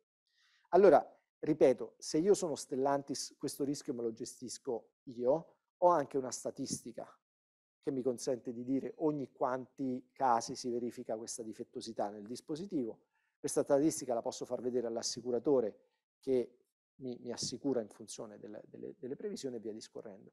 Eh, no, eh, ma la, questa tecnologia non è la mia, è una, una rete neurale addestrata su delle immagini ecografiche che serve a individuare delle masse eh, ovariche soggette a fenomeni di, di, di carcinoma e me l'ha data l'università X. No, quindi io non, è un prodotto nuovissimo, non, non è mio, non c'è statistica, ma tutti quanti iniziano a comprare l'ecografo mio perché dentro c'è, quel, quell'oggetto, quindi io ho un incentivo a farlo. Quando acquisisco la tecnologia ho, ho esattamente questo problema di gestire il, anche, anche il rischio che si materializza dopo. Anche perché prima, eh, quanti ce n'ho di rischi che devo gestire. No? Questo è un happy problem, perché poi magari è una difettosità di 1 su 10 milioni. Il problema io ce l'ho qua su, perché se non inizio a fare attività di ricerca il rischio è altissimo, ma alle volte continua a essere alto nonostante la mia attività di ricerca. E trovare qualcuno, trovare un interlocutore che si faccia carico di fare con me o fare al posto mio tutte queste altre attività quando il rischio tecnologico è alto è molto difficile. Quindi qua il problema non è come faccio il contratto, è se lo faccio, perché quel signore mi dice guarda, bello, ma non, non riesco, non, non, non, riesco a vedere. Ecco perché questa, prima ho, ho usato volutamente questo termine, no? c'è un avallamento. perché la valle della morte è esattamente questo, in, in questa, questa immagine che ricorre in letteratura. La valle della morte è una situazione nella quale l'attività di ricerca è arrivata a un punto per cui si individua un risultato, ma il rischio tecnologico è ancora significativamente alto per cui un privato se ne possa fare carico. Quindi l'ente da una parte dice io ho finito i soldi e ho finito anche la mia missione, io non faccio prodotti. E quell'altro dice io faccio prodotti ma a questo livello di rischio non, non me la sento. E in mezzo c'è un, un buco, c'è una faglia. E, e, e diciamo, scientificamente si dice che questo succede tra il TRL4 e 5, no? quando manca la proof of concept. Quando mancano una serie di attività che noi chiamiamo di de-risking. De-risking vuol dire di abbassamento del rischio tecnologico che faccia intravedere all'investitore quello che sta giù giù in fondo e gli faccia intravedere una, una, qualche verosimiglianza, se non una probabilità di raggiungere il mercato in una qualche, in una qualche forma. E ecco perché allora sì, il mercato ha dato vita a, ha dato vita a questi accordi no, di proof of concept o a degli strumenti tipo il bando del, del, dell'UIBM sulla proof of concept, oppure fondi specializzati che fanno proof of concept e dicono guarda, il mio mestiere è quello di assorbire rischio. Eh, lo faccio mettendomi d'accordo con te dicendo io ti finanzio quell'attività che serve per la validazione e ovviamente ci mettiamo d'accordo poi sullo sfruttamento. Tenuto conto, qua c'è una situazione paradossale perché la proof of concept, diciamo, il, costo di una proof of concept varia tra 20 e 250 mila euro. Quindi sono pochissimi soldi, non nel settore delle scienze della vita, no? Perché se, se quell'azienda mi dice no, devi fare almeno un piccolo studio preclinico, i soldi sono, sono tanti di più. No? E, e quando vi dico attenzione a ragionare nei termini della specificità tecnologica. Però è un paradosso perché per molte tecnologie la proof of concept è poche migliaia di euro, però se non c'è qualcuno che ce le mette la tecnologia non, non va avanti.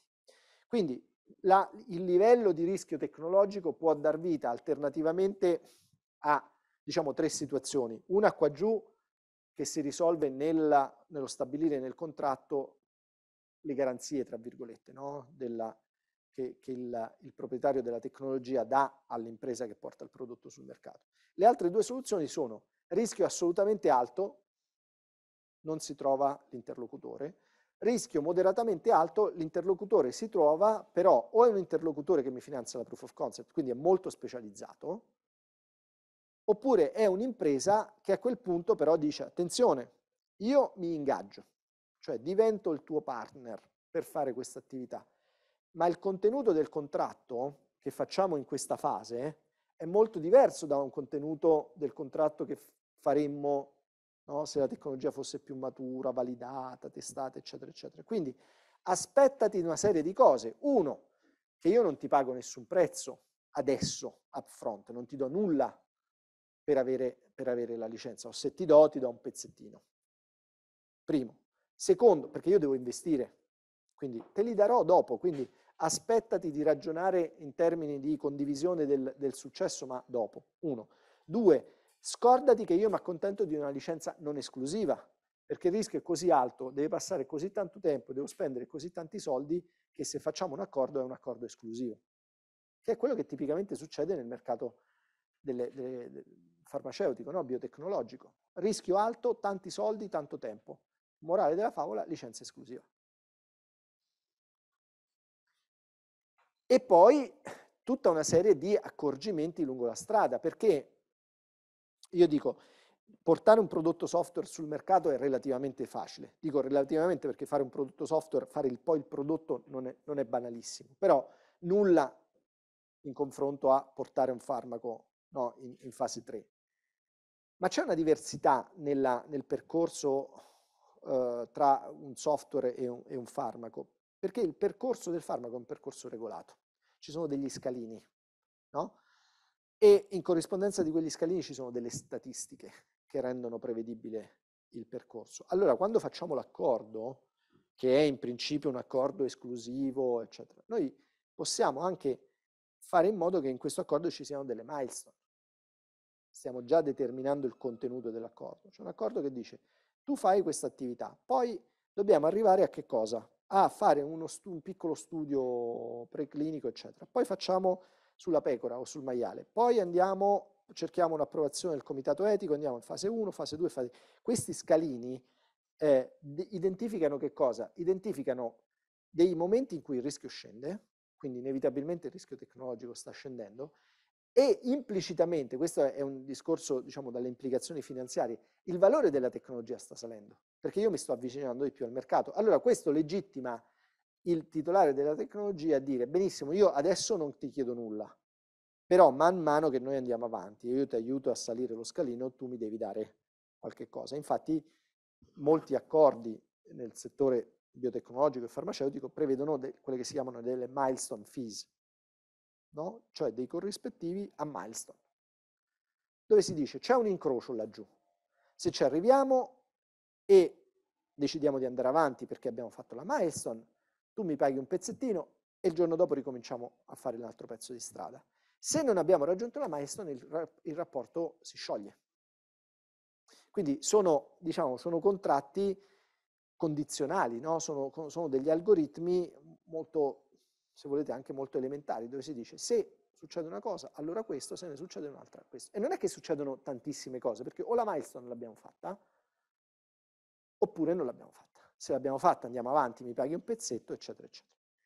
È un modo per gestire il rischio, il rischio tecnologico ed è un modo per, attenzione, è un modo per tenere allineati questi interessi.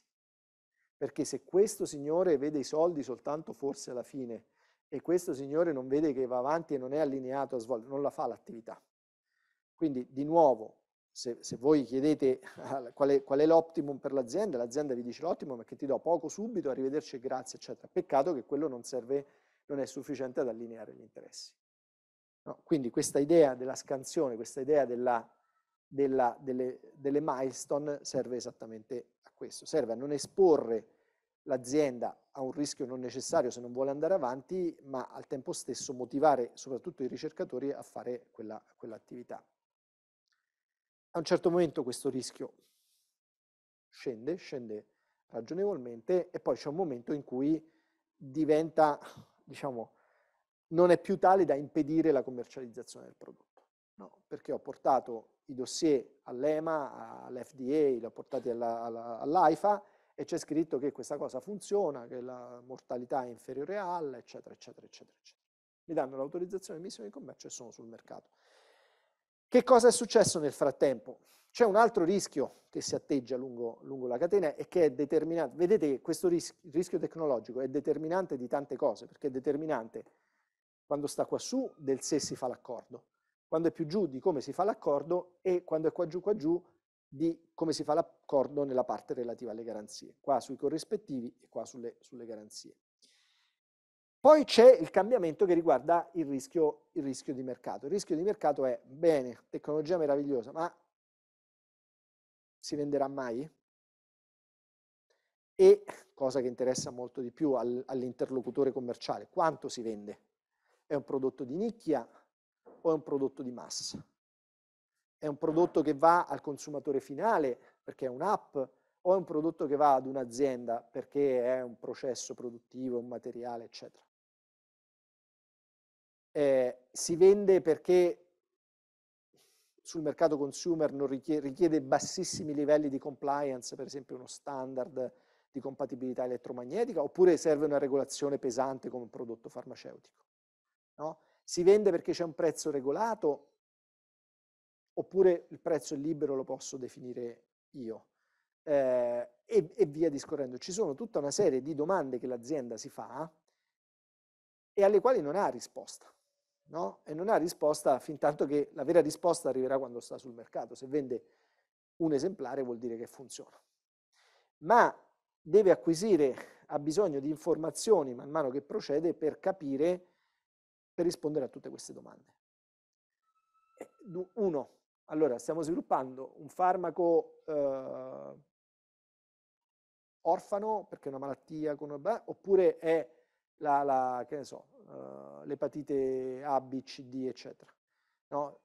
Queste, queste, domande dicono che cosa? Dicono quanto è grande il mercato qua in fondo, le case farmaceutiche prendono queste decisioni eh, in maniera molto razionale e calcolata. Mm? Anche quanto possono pagare per le milestone è calcolato in funzione del risultato che si ottengono. Utilizzano metodi di valutazione basati sulle opzioni reali, Monte Carlo, eh, albero delle decisioni, cioè dicono se io arrivo sul mercato, fa, il calcolo lo fanno a ritroso, no? Cioè io arrivo sul mercato e il mercato mondiale, quello che si chiama Total Addressable Market, no? Vale, diciamo, 500 miliardi, dico dei numeri a casaccio, ok?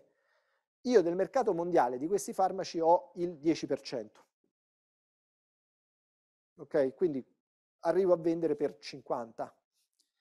So che se arrivo su quel mercato con la mia quota di mercato arrivo a vendere per 50, ma se ci arrivo dipende da che cosa? Da se ottengo l'autorizzazione all'emissione in commercio, che dipende da fase 3, che dipende da fase 2, che dipende da fase 1, che dipende da fase preclinica, che dipende da tante altre cose. Esistono delle statistiche che dicono qual è la mortalità qua, qual è la mortalità qua, qual è la mortalità qua. Quindi loro riescono a, diciamo, con delle regressioni, a capire qual è il valore atteso di questo farmaco che se arriva sul mercato con probabilità 1 mi fa guadagnare 50, qual è il valore in corrispondenza di queste fasi. Quindi possono dire, guarda che quando passiamo dalla fase 1 alla fase 2, il rischio si è ridotto del 37%, sono molto precisi. Vuol dire che la mia aspettativa di guadagno è non 50, ma 19, ti posso dare un pezzetto. Qua la mia aspettativa di guadagno aumenta perché il rischio si riduce, ti do un altro pezzetto e via discorrendo. Quindi è fatto tutto molto, come dire, razionalmente. Prego.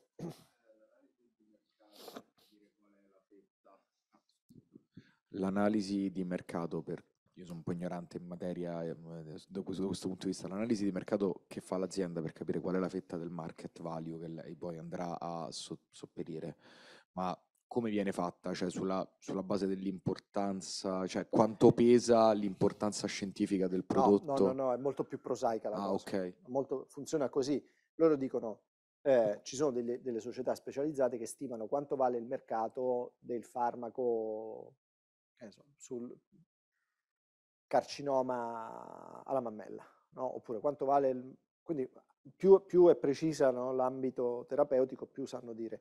E l'azienda sa, ciascuna azienda sa qual è la sua quota di mercato, che è un pezzetto di, di quel totale. Quindi dice, io mi aspetto per ragioni di produzione, di distribuzione, di brand, eccetera, eccetera, che quando arriverò sul mercato con quel prodotto avrò una quota corrispondente a quella che ho oggi.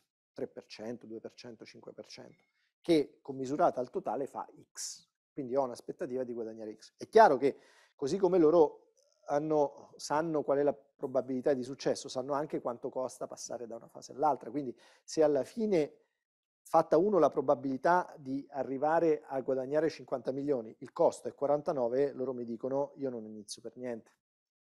No?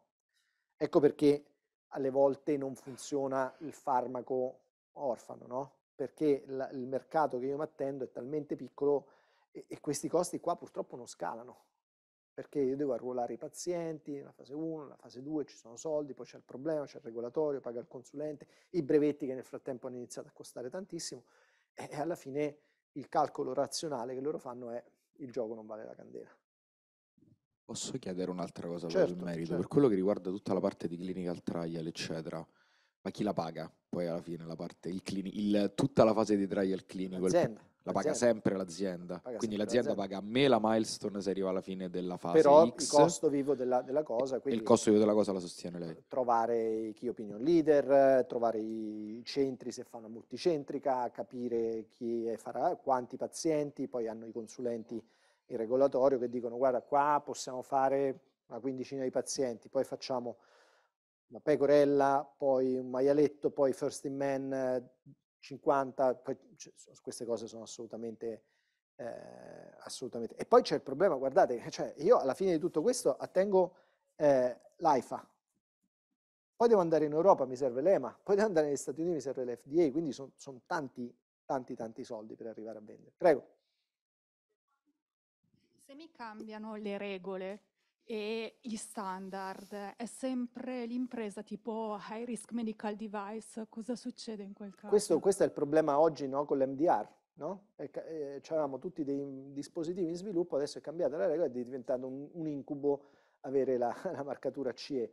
Quello fa parte del rischio di impresa, fa parte, attenzione, fa parte del rischio di mercato, no? Perché il prodotto è sempre quello, l'efficacia è sempre quella, però adesso mi dicono che prima bastava fare certe cose, adesso diventa, è diventato più complicato ed è chiaro che il cambiamento normativo è, è, come dire, fattorizzato dentro tutti gli algoritmi che l'azienda prende quando, diciamo, usa quando deve prendere delle decisioni, perché sanno che cambia la normativa. Per fortuna non cambia da un momento all'altro, no? Cioè eh, hanno delle antenne, dicono ah, cambierà, per cui acceleriamo, eccetera. Però eh, quando, quando eh, il governo Bush, Bush figlio mise fuori legge la ricerca alcun, su, sulle, sulle, cellule staminali, no? vi ricordate? Tutte le aziende quotate all'ASDAC che facevano stem cell psh, sono precipitate, eh, c'è un pazzo in circolazione, eh, questo è, purtroppo fa parte dei rischi di impresa, fa parte del rischio,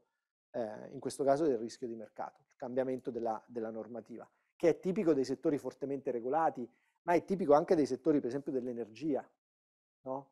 Eh, cioè io ho fatto un business plan che dice che il gas, e poi c'è il prezzo, il cap del gas, oh mamma mia, oppure eh, no, eh, eh, fotovoltaico. Prego. La mia domanda si ricollegava ai farmaci orfani, anche perché il, il campo degli antibiotici si può un po' confrontare a questo perché le vendite degli antibiotici innovativi vengono comunque mantenute al minimo per evitare resistenze e quindi molte industrie farmaceutiche non investono in questo campo. Sì. Quindi volevo chiederle se, mh, come funziona in Italia, se c'è um, qualche, non so... Il problema non è solo italiano, no? Sapete, sì, il problema no. è, è, tant'è vero che esistono dei programmi di finanziamento delle, dei, dei farma, degli orphan drugs, ci sono delle procedure accelerate dal punto di vista regolatorio per arrivare, quindi il, quello è tecnicamente un fallimento di mercato, cioè noi abbiamo un bisogno eh, conclamato che però riguarda una parte piccola della popolazione e il costo per soddisfarlo è inferiore,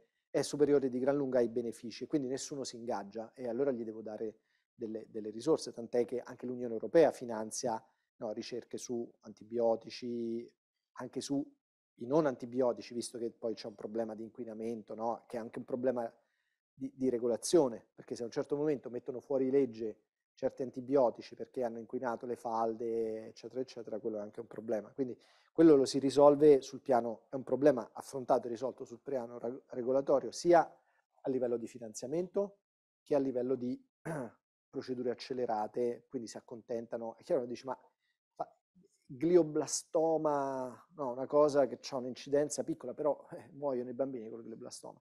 Come faccio a reclutare 5.000 pazienti? Non ce li ho 5.000 pazienti, perché ho un'incidenza che è inferiore al numero minimo di soggetti. È chiaro che là la procedura regolatoria dimagrisce e questo è un problema, è il problema di sempre dal punto di vista regolatorio, cioè quanto debbo alzare o abbassare l'asticella, eh, con il rischio di fare falsi positivi o falsi negativi. No? Era come i farmaci, come il film, quello con Matthew McConaughey sul, sui farmaci anti-AIDS. Se, eh, se abbasso l'asticella il farmaco entra eh, presto in commercio, però magari muore la gente perché ha degli effetti collaterali che non avevamo previsto.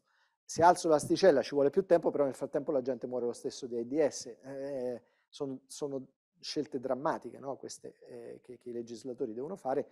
Ovviamente nella misura in cui ci sono soldi sulla ricerca, anche per gli orphan drugs il problema è, è, è, attenuato, però è sempre un problema. Antibiotici, orphan drugs, dispositivi medicali di un certo tipo e via discorrendo. Perché qua la decisione viene presa molto razionalmente. Viene presa molto razionalmente. Eh, soprattutto pensate alle aziende quotate. L'azienda quotata che rende trimestralmente il conto agli investitori deve dire ma perché avete iniziato a investire in un farmaco che non, non porterà nulla? Perché l'amministratore delegato era fissato eh, non è una buona motivazione. Fuori l'amministratore delegato, dentro un altro. Ci sono anche queste dinamiche che, che riportano all'allineamento di interessi. Cioè la logica dell'azienda è una logica di un certo tipo che risponde a una certa razionalità io devo prevenire. No? Eh, questo è un errore che fanno spesso i ricercatori quando fanno gli spin-off. C'è un prodotto incredibile, tanti campi. Noi iniziamo con quel mercato che è una nicchia, va benissimo, ma non ti aspettare che un investitore ci venga. Perché l'investitore vuole vedere i ritorni e i ritorni tu con la nicchia non li fai. No?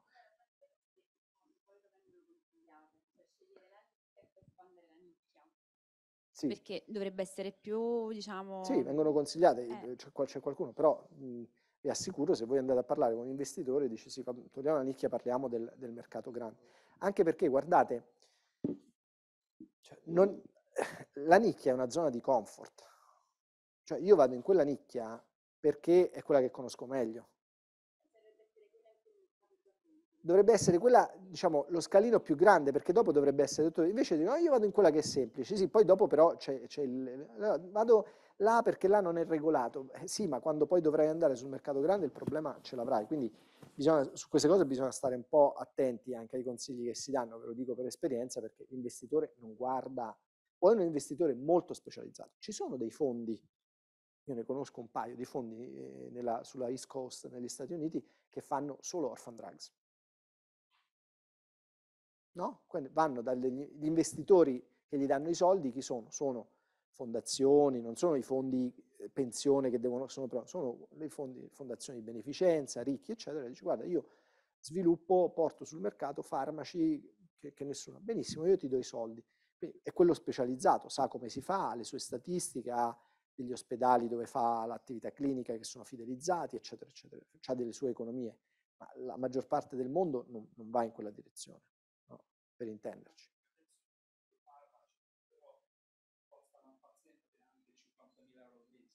Sì, sì,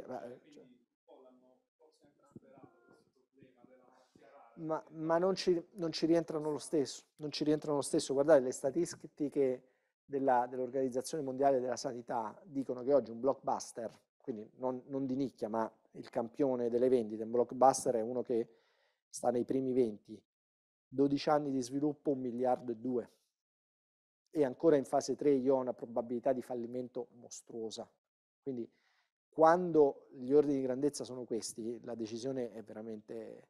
E poi vi dico anche un'altra cosa, certe scelte di acquisizione della tecnologia e quindi di gestione del rischio di mercato e del rischio tecnologico sono alle volte anticicliche, no? O, o comunque controintuitive. Perché? Perché eh, quando diciamo, la pipeline delle aziende è secca, perché non hanno prodotti, si accontentano di un rischio alto, perché dicono io devo, devo scommettere. No? Quando c'è molta liquidità, dicono sì. Quando il mercato, quando invece c'è meno liquidità o al contrario, quando la pipeline è ricca, dicono vabbè sì, portatemi in fase 1 e allora poi ne parliamo. Peccato che io per arrivare in fase 1 devo, devo trovare dei soldi che non ho, quindi va, va tenuto anche conto della, della congiuntura. No? Quando ci sono molti, me lo ricordo in una conferenza della Licensing Executive Society negli Stati Uniti nel 2002 c'era uno che già parlava di proof of concept e diceva ma la proof of concept non è un problema perché quando ci sono tanti soldi in giro gli investitori pagano anche la proof of concept. Quando non ci sono i soldi in giro non pagano nemmeno quello che non ha proof of concept, quindi il problema non, non, non si pone nemmeno. Questo dice che il contesto nel quale ci muoviamo rende più o meno difficile l'attività di trasferimento tecnologico. Io sentivo stamattina alla radio il Fondo Monetario Internazionale dice che nel 2023 saremo in recessione tecnica. Che cosa succede nei fasi di recessione? Le aziende comprano tecnologia o no? O, o, o tirano i remi in barca? Eh, questo fa, fa la differenza. Se sono più attenti al rischio, evidentemente chiederanno più garanzie e quindi negoziare sarà più complicato e l'accordo sarà più a loro favore. Ci sono, ci sono anche questi, questi fattori da, da, tenere presente. Fattori anche geopolitici. Geopolitici.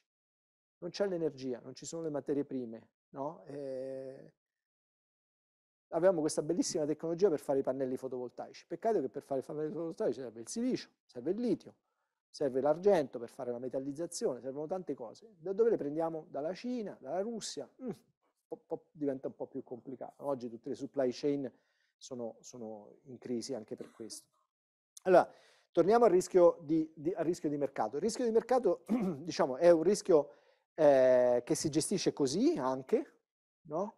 Eh, qua il rischio di mercato, come dire, è, è, fortemente condizionato dal rischio tecnologico, perché io so che il mercato c'è, no? Se mi dicono che quella è una malattia gravissima e non c'è risposta, è Parkinson, io so benissimo che se arrivo su quel mercato ne avrò una fetta grande. Il problema è quando, quando ci arrivo e come ci arrivo. E ovviamente il, il rischio, la curva del rischio di mercato inizia a scendere quanto più vicina è la tecnologia al prodotto, quindi tipicamente a livello prototipale, se parliamo di, di, di oggetti che vanno soggetti a prototipazione, il rischio inizia a scendere, perché inizia a scendere, io inizio a, cap inizio a capire qual è la fattibilità tecnica, quanto scala nella produzione, qual è il packaging, chi me lo fornisce, dove l'assemblo, pensate a un dispositivo medicale, no? Sì, funziona, funziona, l'abbiamo provato sul manichino, poi l'abbiamo provato sul, sull'animale, poi l'abbiamo provato sull'uomo, adesso bisogna farlo. Mi serve il nitilol, poi mi serve il coso, poi mi serve... Queste robe costano e devo iniziare a fare un, una BOM, no? una bill of material, una lista della spesa per dire quanto costa. Costa X, X è tanto, perché se costa X e ci devo mettere il margine, sul mercato lo dovrò vendere a X più 30. A X più 30 non se lo compra nessuno. Allora devo ridurre questa X, come faccio? Scalando la produzione si iniziano a fare tutta una serie di valutazioni che però fa il compratore della tecnologia, non le fa il TTO, perché gli mancano i dati, no? Gli mancano i dati, però deve sapere quali sono queste, diciamo, le valutazioni che vengono effettuate in questa, in questa fase. E vi dicevo, il rischio di mercato poi scende e va a zero, perché quando il prodotto, sul, quando il prodotto si vende vuol dire che il rischio non, non c'è più. Può subentrare l'altro rischio, l'altra componente di rischio di mercato, cioè quanto si vende. No? Perché eh, oh, non era un mercato di nicchia, era un mercato di massa. Abbiamo fatto un prodotto che prima non c'era e non lo vuole nessuno. No? E anzi la letteratura di, di management dell'innovazione che cosa dice? Dice che i prodotti ad alta tecnologia hanno una domanda, la famosa domanda AS, no? all'inizio non li vuole nessuno, poi c'è un effetto Me Too, tutti quanti lo vogliono e poi la domanda diventa piatta e ci sarà il nuovo prodotto, lo smartphone, no? tante, tante altre cose. Quindi all'inizio, caspita, non, non, le vendite non prendono e quindi il rischio di mercato si, si è trasformato in rischio di poco mercato. Come lo si gestisce? È un problema solo del solo eh, dell'impresa o anche un problema del titolare della tecnologia? È un problema di tutte e due, perché verosimilmente l'azienda, poi lo vedremo dopo, l'azienda licenziataria mi dirà guarda che io ti pago, ma ti pago in funzione dei volumi che io faccio sul mercato. Cioè il, la tua remunerazione deve essere in qualche modo proporzionale alla non proporzionale, legata alla mia, cioè se va bene va bene a tutte e due, se va male va male a tutte e due. Proprio perché io mi sto facendo, se tu mi dai il prodotto e questa curva rossa è, è qua, lo vediamo subito. Se questa rossa è qua vuol dire che quella gialla è già giù, vuol dire che tutto è sceso, no? Ma tu me lo stai dando, stai, noi stiamo facendo un accordo qua e io andrò sul mercato qua e venderò ancora più in avanti, quindi ho bisogno di vedere e come me devi vedere tu. Quindi io anche quando facciamo un contratto a milestone, ti do un pezzettino, un pezzettino qua, un pezzettino qua, un pezzettino qua, un pezzettino qua, alla fine io sto facendo 50 miliardi di fatturato e a te ho dato complessivamente 1,2 milioni. Come sarebbe? Benissimo. Se vuoi partecipare dei 50, ti devi accontentare di un corrispettivo variabile. Cioè, quando io farò 50 tu ne avrai fatto un pezzo. E siccome io non li faccio tutti insieme, li faccio anno per anno, un po' alla volta, io te ne do un po' alla volta. Questa è, diciamo, eh, la logica alla quale risponde il meccanismo della royalty. La royalty è un modo di condivisione del rischio di mercato che significa man mano che andiamo avanti e il prodotto inizia ad avere presa, no? c'è un inflection point e poi inizia a salire, io accetto di condividere, poi vedremo come, accetto di condividere il successo e tu accetti di condividere il rischio che invece la curva non cresca così rapidamente. Mm. E poi c'è il rischio di protezione, quello che io chiamo il rischio di protezione. Il rischio di protezione è tutto legato alla, la dico così, eh, alla conservazione del vantaggio competitivo. Che cosa vuol dire questo? Vuol dire che per l'ente che produce la ricerca, il risultato di ricerca, il risultato di ricerca è un risultato di ricerca, è, un, è il prodotto dell'attività istituzionale che fa l'ente e va benissimo. Ma per, l'impresa che quella tecnologia deve acquisire, la tecnologia, il risultato della ricerca è una fonte di vantaggio competitivo. Cioè sto dicendo che io avrò un prodotto che altri non ha, oppure avrò un processo che mi farà produrre a un costo più basso di quello dei miei concorrenti.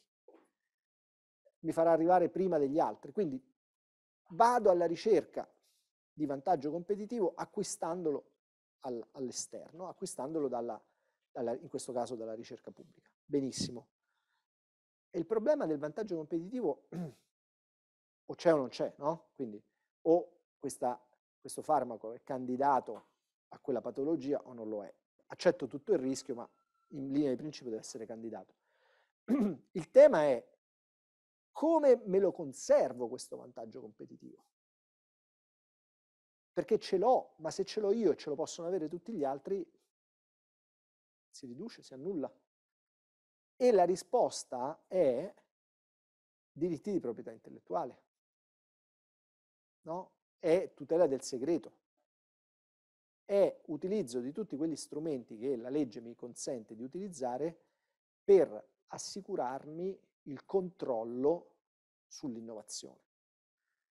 La, il quale controllo, attenzione, non serve a costruire il vantaggio competitivo. Questo io, diciamo, il vantaggio competitivo me lo dà l'innovazione, me lo dà la ricerca, me lo dà l'intelligenza, me lo dà la competenza, me lo danno le persone. Se Valentino o, o Dolce Gabbana fanno vestiti belli, li fanno a prescindere dal fatto che siano protetti da marchi, diritti d'autore. Sono belli, la gente se li compra. Se questo farmaco risolve questo problema, è, è la soluzione che mi dà il vantaggio competitivo. Il fatto che io la brevetti non aumenta la capacità diagnostica, prognostica o terapeutica di, quel, di quell'oggetto, capite? Non è che se è brevettato eh, funziona meglio, se è brevettato dura di più il, il momento in cui l'utilizzatore conserva questo vantaggio competitivo. Quindi i diritti di proprietà intellettuale e gli strumenti di tutela del segreto servono alla conservazione del vantaggio competitivo, non alla sua creazione.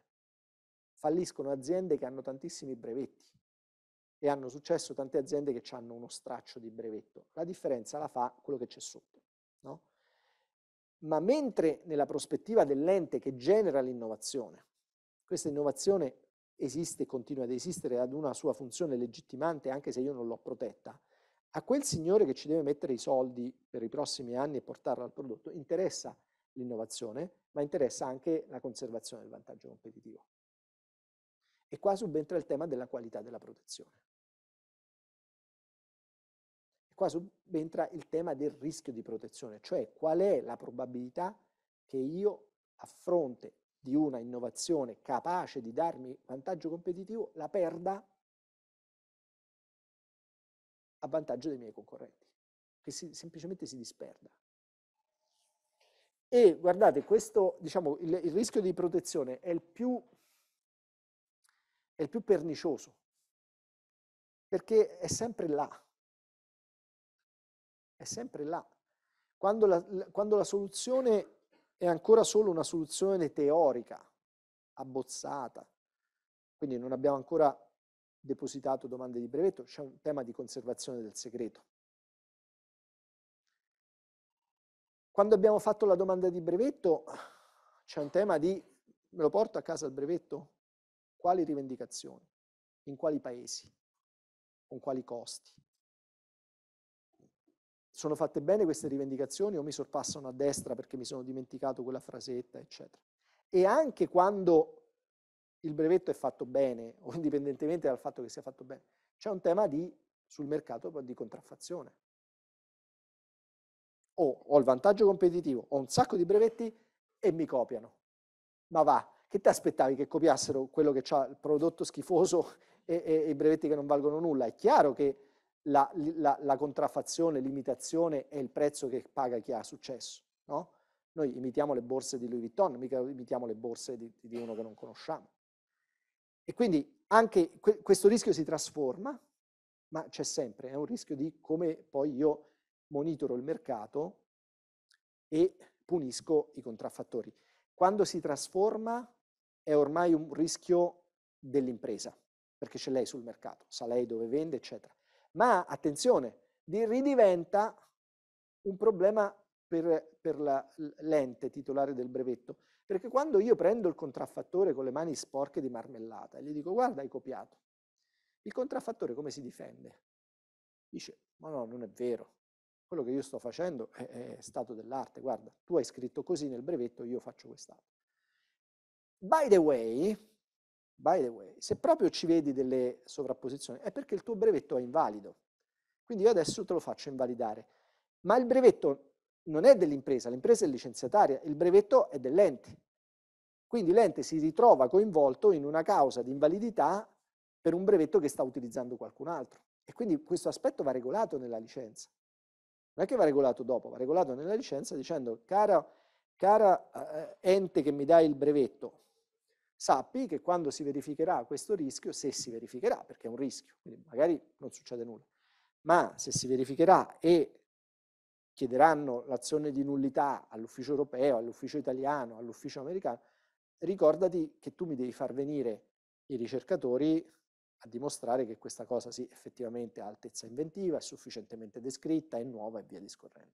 Perché io non, non, non ero presente nelle fasi di, di, scrittura del brevetto, non lo so come l'avete fatto, ma tu mi devi dare la garanzia. No? Quindi vedete che c'è un, una retroazione, quella trasformazione di questi rischi retroagisce sul momento genetico di composizione degli interessi tra le parti. Domande. E allora, prima della descrizione di questo rischio, pensavo di avere una domanda idiota in testa. Io sono in fase di scrittura brevetto. Saprei anche già quale, con quale azienda eventualmente fare un accordo di ricerca e sviluppo, perché io non posso assolutamente permettermi col, nel mio IRCS di fare tutte le prove. Uh-huh eh, anche in preclinica della molecola che ho studiato e di tutte le sue sorelle che sono 13-18. Cosa faccio? La coinvolgo nella stesura del brevetto, così quantomeno sollevo me e l'istituzione da grane che potrebbero a questo punto eh, incorrere con questo tipo di rischio, perché dal punto di vista degli altri due mi pareva ovvio dire che cavolo, mi sto tagliando praticamente da solo la possibilità di avere una bella fetta di eh, percentuale inventiva sul brevetto mm. e, e, di proprietà del brevetto, eventualmente non io, ma la mia istituzione, perché poi così rientra una bella aziendona che se ne fa quello che se ne fa fino a un certo punto, però poi se va bene ha voglia quanto ci guadagna. Che faccio? Me lo dice dopo. No, no, ci prendiamo un caffè perché questo avevo detto che facevamo parte, no, così lo iniziamo e, perché questo è un problemino mica, mica da niente, però è, diciamo, è, è, è, esattamente una estrinsecazione del rischio, del rischio di protezione, perché io là sono tra l'incudine e il martello, cioè vado avanti da solo e fotografo quello che io so o faccio intervenire qualcuno che però a quel punto dirà vedi che questo pezzetto te l'ho aggiunto io allora è anche un po' mio e quindi perché mi sta venendo l'ansia di scrivere un brevetto zoppo eh, nel senso o quantomeno di non essere in grado di dare indicazioni al mandatario brevettuale di scrivere un brevetto così perfetto che non faccia poi incorrere a rischio di protezione l'azienda che ho già in mente di, di, di, di chiamare in causa è così Prendiamo, facciamo una piccola pausa e riprendiamo da questo grazie Ricominciamo dalla domanda difficile. No, la domanda difficile è una domanda difficile e come tutte le domande difficili è una domanda intelligente perché sottende la, la, la grande questione della, la dico così per semplificare, della qualità della proprietà intellettuale. No? Eh, qua utilizzo un concetto che appartiene ad un'altra, ad un'altra scienza, però a che, cosa, a che cosa serve la proprietà intellettuale all'impresa lo abbiamo capito, no? si deve conservare un vantaggio competitivo. Che gli sto dando io? Io gli do l'innovazione e gliela do protetta, quindi gli do il vantaggio competitivo e il modo di controllarlo. Questo, questo soggetto dall'altra parte, che io comprendo, stimo, eccetera, eccetera, ma è un mio antagonista, cioè stiamo negoziando, quindi lui, io gli do una cosa, lui me ne deve dare un'altra. E quanto, diciamo, più forte è la mia posizione dal punto di vista negoziale, tanto maggiore è la probabilità che io porti a casa qualcosa eh, in termini di vantaggio economico, non solo economico. Comunque che la negoziazione sia, sia equilibrata.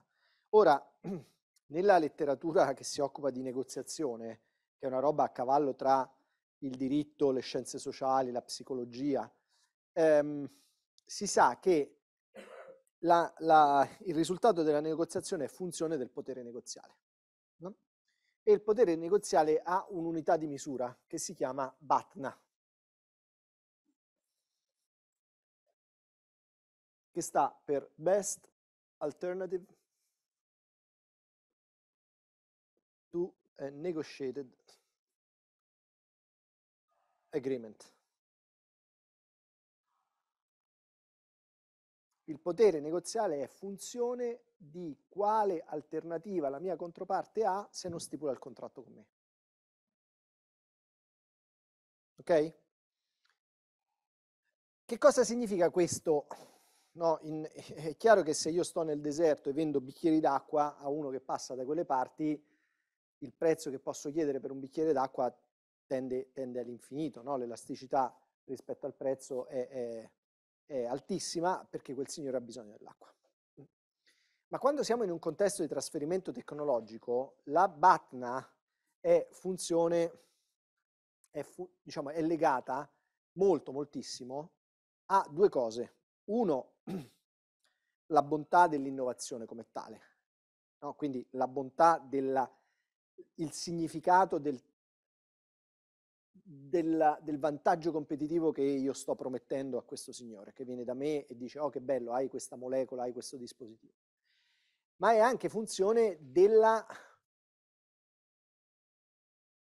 della misura con la quale questo signore sarà in grado di conservare il vantaggio competitivo.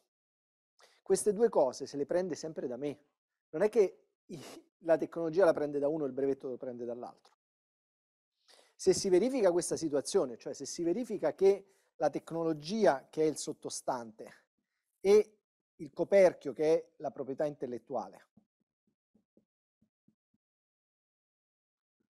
appartengono a due soggetti diversi, vuol dire banalissimamente che la tecnologia l'ho sviluppata io, ma i brevetti ce l'ha qualcun altro, vuol dire che su questa tecnologia non c'è freedom to operate. La mia tecnologia è contraffattiva, quindi in astratto è una grande fonte di vantaggio competitivo. Peccato che appena vado sul mercato quell'altro signore dice che ha i brevetti e mi interdice. No? Allora, nella misura in cui c'è un perfetto allineamento tra tecnologia e proprietà intellettuale, perché questo ce l'ha, queste due cose me le dà il titolare, il titolare mi sta dando quello che io voglio, cioè un vantaggio competitivo sostenibile perché mi resta nel tempo. Ora, eh,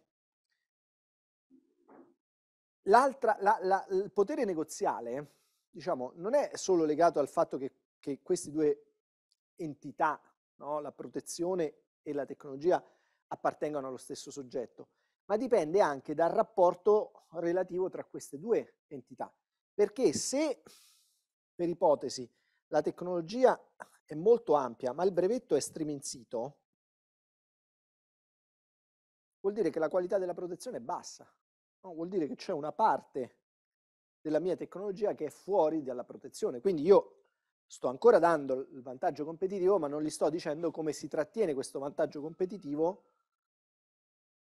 se io non gli sto dando un brevetto corrispondente. No, qua, questo è un tema di qualità, cioè un tema di allineamento tra l'innovazione e la forma di protezione che io ho prescelto. Tenuto conto che la tecnologia può essere protetta da tante diverse forme di proprietà intellettuale, ci possono essere dei brevetti, dei segreti, eccetera, ma tutto insieme mi deve dire che almeno la proprietà intellettuale, i diritti di proprietà intellettuale che io gli sto, che gli sto dando corrispondono alla tecnologia. Più bassa è la qualità, maggiore è la probabilità che qualcuno mi sorpassi a destra. Quindi vuol dire che si riduce il potere negoziale. Allora, cattiva protezione significa minore potere negoziale. Perché quel signore non è interessato solo al vantaggio competitivo, è interessato a tenerselo. Non gli interessa di dire sì, per un istante sono stato il più bravo, però due minuti dopo erano tutti bravi come me. Assolutamente. quello che sto capendo io, allora mi devo far dare una mano per evitare che avvenga quel modello lì. Nel senso, io ho una potenza di fuoco limitata a un IRX italiano. Ho una molecola che funziona per risolvere un problema in una malattia rara, che Mhm. però è una malattia che può essere sviluppata da più persone che non hanno la malattia rara con l'età o l'ipertensione. Ho bisogno di testare tutte le molecole simili a quella e di testare tutte queste in un modello di malattia più ampio. Mi devo far dare una mano. Io non riesco a testare 18 compound su un modello di malattia rara perché, perché mio capo mi dice eh, ciao, non mi dai soldi, e potrei coprire con un brevetto più ampio tutti quei compound, ma solo se mi dessero una mano. Mhm. Quindi quello che sto capendo è forse è meglio coinvolgerli subito prima del brevetto e farmi dare una mano? Non è così semplice. Non eh. è così semplice. No, no, non è così semplice. Vedete, se io ho inventato uno scarpone da neve, ok? E mi pongo il problema di proteggerlo, ci faccio un brevetto oppure registro un modello. Io posso fare un brevetto dove identifico esattamente questo, questo non è una tecnologia, questo è un prodotto. Identifico il prodotto e le sue possibili variazioni. 4 leve micrometriche, 5 leve micrometriche, 6 leve mi- però è quello, è quello. Come si usa? Te lo infili, lo chiudi, lo agganci, buongiorno, lo agganci allo sci, ti butti giù per la cosa, no. Noi non stiamo parlando di scarponi da neve, noi stiamo parlando di tecnologia e quando parliamo di tecnologia, il rapporto che c'è tra il sottostante, che è la tecnologia appunto, e la forma di protezione, è un rapporto mutevole. Perché io a un certo punto devo fare, siccome devo gestire il rischio di protezione, non lo posso tenere più segreto, devo scrivere, devo fare una fotografia, un'istantanea, di un soggetto che si muove. Quindi oggi faccio l'istantanea, ma la tecnologia non è mai uguale a se stessa. Perché portarla sul mercato presuppone far aumentare il TRL. Ma la aggiusto, la devo testare, testandola capisco che ha dei casi d'uso diversi, eccetera, eccetera, eccetera. Il- questo, questo oggetto qua sotto ha una tendenza, come dire, espansiva, perché l'attività di ricerca e sviluppo mi fa aumentare delle conoscenze. Così come evidentemente c'è anche una, come dire, dal punto di vista tecnologico, una tendenza riduttiva, nel senso che io potrei escludere alcune cose che a livello teorico avevo immaginato, ma che in pratica non funzionano. no? La proof of concept tipicamente serve a, a questo. Ora, quando io faccio l'istantanea, devo essere preoccupato almeno che ci sia, che, che il soggetto l'abbia, che ci sia un fotogramma in cui è fermo e l'ho preso. Ma nella prospettiva della- dell'in- dell'aumento della, della tecnologia, la scrittura, in questo caso, del, del brevetto presuppone che io mi faccia aiutare. Mi faccia aiutare da qualcuno che mi sappia dire, dal punto di vista tecnico e brevettuale, come evolve, eh, come può evolvere la- il, il brevetto, tenuto conto della fotografia iniziale che scatto. Io devo scrivere delle rivendicazioni. Di quello che non ho immaginato, che invece dal punto di vista brevettuale si può scrivere, per non creare quelle famose scoperture, e tenuto conto, eh, questo lo vedrete magari oggi pomeriggio, della prior art, perché io scatto un'istantanea all'interno di, di uno scenario brevettuale dove ci sono anche gli altri.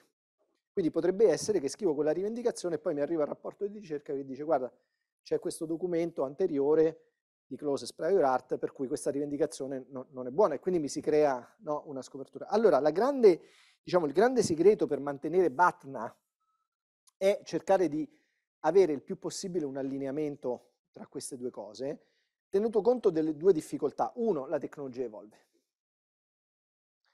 E non è detto che evolva soltanto con la mia capacità, devo avere bisogno di qualcun altro. Due, il brevetto non evolve in tutte le direzioni, perché io posso scrivere delle rivendicazioni ampie all'inizio, però la norma mi dice le rivendicazioni devono essere supportate dal testo, quindi io non posso scrivere più cose di quelle che ho inventato, se no faccio un brevetto delle rivendicazioni invalide. e nel corso della procedura io mi devo aspettare che se va bene, ma deve andare molto bene, le rivendicazioni mi verranno concesse come le ho scritte. Ma è possibile che mi si chiedano delle limitazioni? Certo. un algoritmo di intelligenza artificiale utilizzando tre variabili, la variabile A, B e C e la brevetto. Dopo due anni, tre anni, utilizzando 100-200 pazienti, capisco che in realtà um, potrebbe essere utile utilizzare anche un'altra azienda, capisce che in realtà potrebbe essere utile implementare questo algoritmo con altre tre variabili. In quel caso loro comunque non hanno la libertà di utilizzo. Dipende, no? Dipende. La, la, risposta, la risposta, sempre corretta eh, all'esame di diritto è dipende. Dipende perché? Perché se il procedimento che loro attuano. È un procedimento che ripete almeno tutti i passaggi del brevetto precedente, anche se ne aggiungono altri, c'è interferenza. Quindi hanno un brevetto ma non hanno freedom to operate. I passaggi, I passaggi proprio tecnici? Cioè magari se usano le stesse variabili ma con un altro algoritmo? Dipende da come è scritto il brevetto, questo sto dicendo, no? Perché potrei essermi dimenticato dei pezzi, potrei aver, non aver generalizzato, potrei aver detto tre variabili e quello dice ma io ne uso due e la, la quarta è diversa, dipende, dipende da... Ecco perché quello che sto dicendo è la qualità della protezione è una cosa importantissima perché ne va dell'attrattività verso, verso l'azienda. Ma la qualità della protezione non è, una, non è un bene che si ottiene istantaneamente, perché una volta ho fatto, depositato la domanda di brevetto, arrivederci e grazie, no? Perché c'è un tema di allineamento c'è, il tema che quando dopo, 12, do, scusate, dopo 18, 18, mesi arriva la pubblicazione in A1 della domanda di brevetto con l'International Search Report, ci stanno X, Y, vuol dire che io devo iniziare a stagliuzzare e la, la, la, la cosa, la protezione diminuisce. Sono sicuro che nella versione finale del brevetto, quello che mi verrà concesso, sto ancora almeno dentro la versione originaria della tecnologia, perché sennò ho creato una scopertura e quello che viene a comprarsi la tecnologia, per non parlare dell'investitore che mi deve finanziare lo spin-off, fa due diligence. Ci avrà un esperto che gli dice sì, guarda, tecnologia bellissima, ma tenete conto di un'altra difficoltà. Noi, questa cosa noi la vediamo su quante dimensioni, questo rapporto tra tecnologia e protezione. Lo vediamo su, su due dimensioni. Il tempo, perché evolve eh, sia l'uno che l'altro, e lo vediamo dal punto di vista delle rivendicazioni, no? Di, dello specchio della cosa. Ma c'è la terza dimensione, lo spazio, il mercato. Perché se io ho la migliore tecnologia, il brevetto ce l'ho solo in Italia, l'azienda mi dice guarda, tecnologia meravigliosa, ma io ho il mercato in tutto il mondo. Questo è un caso che è successo veramente anni fa, non mi ricordo quale università, ma se anche lo ricordassi non lo direi per... per... Diceva, abbiamo fatto questa ricerca, era un composto per la per la cura della, ehm, un, del, del, tumore alla prostata. Okay? Il tumore alla prostata è la seconda causa di mortalità della popolazione maschile sopra i 50 anni, quindi mercato, per tornare al discorso prima, enorme. Chiun, qualunque azienda vi dice bellissimo. Eh, ricerca fantastica, gruppo fantastico, H-index meraviglioso, pubblicazione, pubblicazione meravigliosa, brevetto, c'è tutto. Andiamo dalle aziende. Le aziende, bello, bellissimo, no grazie. Bello, bellissimo, no grazie. Bello, bellissimo, no grazie. Ma perché? che, che, che cosa c'è? Che c'è sfuggito, no? La storia sembra... Allora, sulla terza dimensione, che è quella spaziale, quell'ente aveva iniziato la procedura di brevettazione e poi, non avendo tante risorse e dovendo scegliere, perché c'è anche quel problema, No? Io, un, un, aspetto del rischio di protezione è che per proteggermi devo spendere e non è che ho risorse infinite. Allora avevano fatto il brevetto italiano, poi erano passati nel PCT, non avendo soldi in Europa avevano fatto solo la Germania e eh, nel mondo avevano fatto India e Cina. Ma dice scusa, ma perché avete fatto questa estensione? Dice, ma perché eh, il mandatario, adesso non so se è vero, però avevano buttato la croce sul, sul mandatario, il mandatario ci ha detto che questi sono mercati grandi. vero? Vero? Peccato che se uno va a vedere le statistiche della mortalità della, del, per il tumore alla prostata, cinesi, gli asiatici non muoiono di tumore alla prostata perché non mangiano carne di maiale e non fanno il barbecue la domenica con le salsicce e le braciole. muoiono in, in Nord America, la metà muore in Europa e la metà della metà, quindi in, questi due mercati sono insignificanti dal punto di vista. Allora sì, la tecnologia è buona, ma la copertura è striminzita sulla dimensione spaziale. Operazione di trasferimento tecnologico uccisa. Che faccio? Inizio la, la, fase preclinica, clinica, eccetera, arrivo sul mercato e poi c'è il genericista che dice grazie, dammi il dossier che adesso lo produco io questo farmaco. Non funziona così. Allora, questo è un, un signor tema, no? Perché l'azienda che dice meravigliosa questa innovazione, ma tutti quanti hanno un'alternativa migliore della mia. E qual è l'alternativa migliore della mia? Che copiano. Allora copio anch'io. Aspetto il primo, però se tutti aspettano tutti, l'innovazione non arriva sul mercato. Però il punto lì è stato il fatto che l'ente finanziatore l'ente che ha fatto la ricerca non aveva soldi. Allora, ni, ni, ni, perché guardate che fare un deposito italiano, poi fare un PCT, entrare in fase europea, poi fase, nelle fasi nazionali, comunque questo affare qua è costato tanti soldi. Non è che hanno speso poco, no? Un brevetto in India, in Cina, non è che te lo regalano. Qual è il tema? Mi devo far aiutare, ma quando dicevo attenzione, mi serve il ricercatore, perché il ricercatore lo sa che il tumore alla prostata non è una causa di mortalità maschile in India, in Cina. Quindi gliel'avete chiesto al ricercatore dove andare a, a, a proteggere? Evidentemente no. Non è che mi devono, ci dobbiamo aiutare tutti quanti, perché io so come funziona la procedura brevettuale e so che se mi scade il, il, termine per il PCT all'estero non ci posso andare, se mi scadono i termini per le nazionalizzazioni io non ce lo posso aggiungere agli Stati Uniti, ma qualcun altro mi deve dire, amico guarda che questo, prima, come? Sì, ma qualcuno le sa queste cose, ma io non lo so perché io lavoro nel TTO, oggi viene quello col tumore alla prostata, domani c'è quello col bisturi, poi viene quello con gli algoritmi di intelligenza artificiale il, gru- il, gruppo ha buttato la croce sul mandatario brevettuale. Hanno detto così, ma però so. i costi di mantenimento di un brevetto in India e in Cina è paragonabile a quello degli US? Ma sì, ma guardate, cioè, mm, cioè, non bisogna mai ragionare, guardate, non bisogna mai, questo è un tema strategico, no? Non bisogna mai ragionare in termini di costi assoluti. Cioè, nella, nella, nella determinazione dell'algoritmo di costo, questa, diciamo, siamo, la, la, mela sta rotolando un po' lontano dall'albero, però vi ci state portando voi, quindi assumo che risponda ad un interesse. Il primo costo che io valuto nel decidere se proteggere, come proteggere, non è il quanto costa il brevetto. Il primo costo che io valuto è quello che in economia si chiama il costo opportunità.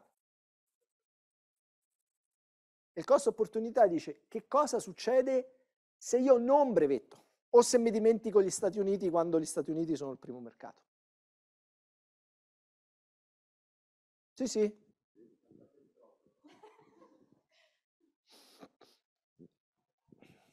Però qua si parlava di farsi aiutare, chiedere, ma forse per tutte queste problematiche non è l'azienda la, la persona con la quale interfacciarmi. Cioè, se da una no, parte. perché è troppo tardi. Eh, se da una parte è il mercato e quindi ho bisogno di chi mi fa un'analisi di mercato, un'altra parte è il sapere, la patologia, dove. Cioè, forse l'aiuto non devo andarlo a iniziare a chiedere all'azienda quando prima. poi è anche difficile contrattualizzare con l'università, prima. ma cercarlo anche prima, prima e vicino, forse. Tra vicino, TTO, lontano, ma prima L'importante è prima, nelle, noi abbiamo tante fonti informative, no? esistono le banche dati, basta, basta una cosa, cioè, voi oggi pomeriggio farete con, con il dottor Falciola la parte di ricerca brevettuale, no? Ah, è lei, buongiorno, scusi, non ci conosciamo, molto lieto. e, e, vedrete, cioè, una cosa molto semplice è, vado su una qualsiasi banca dati, no? Patent Scope, Espasnet, vado a vedere dove il primo della classe estende i brevetti che voglio fare anch'io. Quello è un benchmark. Oh, ma se li fanno tutti in Germania e in Austria e io li voglio fare in Sudafrica e in Nuova Zelanda, ma ci sarà una ragione, no? Noi non è che non abbiamo strumenti, ma li dobbiamo, dobbiamo aumentare la base di conoscenza per poter prendere le decisioni. La prima, dicevo, il primo tema è un tema di costo-opportunità, cioè che cosa succede se non, qual è il costo di non, che va declinato nel che cosa succede se le, mi sono dimenticato la rivendicazione più importante, oppure non me la concedono. Che cosa succede se Nel tempo questa domanda è troppo ampia, la devo stringere e purtroppo la procedura brevettuale non mi consente l'inverso, io non la posso allargare, posso solo restringerla. E che cosa succede se mi sono dimenticato un paese importante? Quindi questa è la prima considerazione che io faccio, dove l'alternativa alla brevettazione è il segreto, se, se si può, la pubblicazione, se si può, altri diritti di proprietà intellettuale. La seconda considerazione che io faccio è il costo dell'enforcement. Se io faccio il brevetto in India e in Cina, vuol dire che implicitamente sono pronto ad andare a fare un'azione di contraffazione in India e in Cina. Io o chi per me. Ci vanno a fare l'azione di contraffazione in Cina? Boh, non faccio il brevetto per moda dove non sono pronto. O, o so che in Cina c'è un licenziatario, o c'è un licenziatario da qualche altra parte che sicuramente andrà in Cina, o non faccio il brevetto in Cina. Scusate, se non ho tanti soldi, no? Perché se sono una casa farmaceutica ho tanti soldi, vado ovunque. Ma se sono un ente e devo fare economia, perché non ho solo questo brevetto, ne ho tanti, e la famiglia brevettuale è grande, per cui hanno tanti figli, l'Italia, devo, devo selezionare. Seleziono in funzione di quanto è verosimile che quel brevetto, che non, non solo che io faccia l'azione di contraffazione, che io mi renda conto che c'è un contraffattore là. Perché è un tema di detection, no? e per fare detection devo fare vigilanza, la faccio vigilanza su quel mercato, lo scopro, qual è tutto in termini probabilistici, perché qua parliamo in termini di rischio, quanto è probabile che, eccetera, eccetera. E solo se il costo opportunità della non protezione è troppo alto e il, il, i costi di enforcement sono proibitivi ma accettabili, allora io vado a valutare i costi diretti di protezione brevetto italiano 2005, PCT 3089, più questo, più la nazionalizzazione, eccetera. Questo è l'algoritmo. Perché se io parto da qua, brevettare costa 30.000, io ce ne ho 29, non lo faccio il brevetto. Ma non è vero che ti costa 29, perché lo devi vedere in funzione di dove non lo vorresti e di dove invece dovresti avercelo per forza.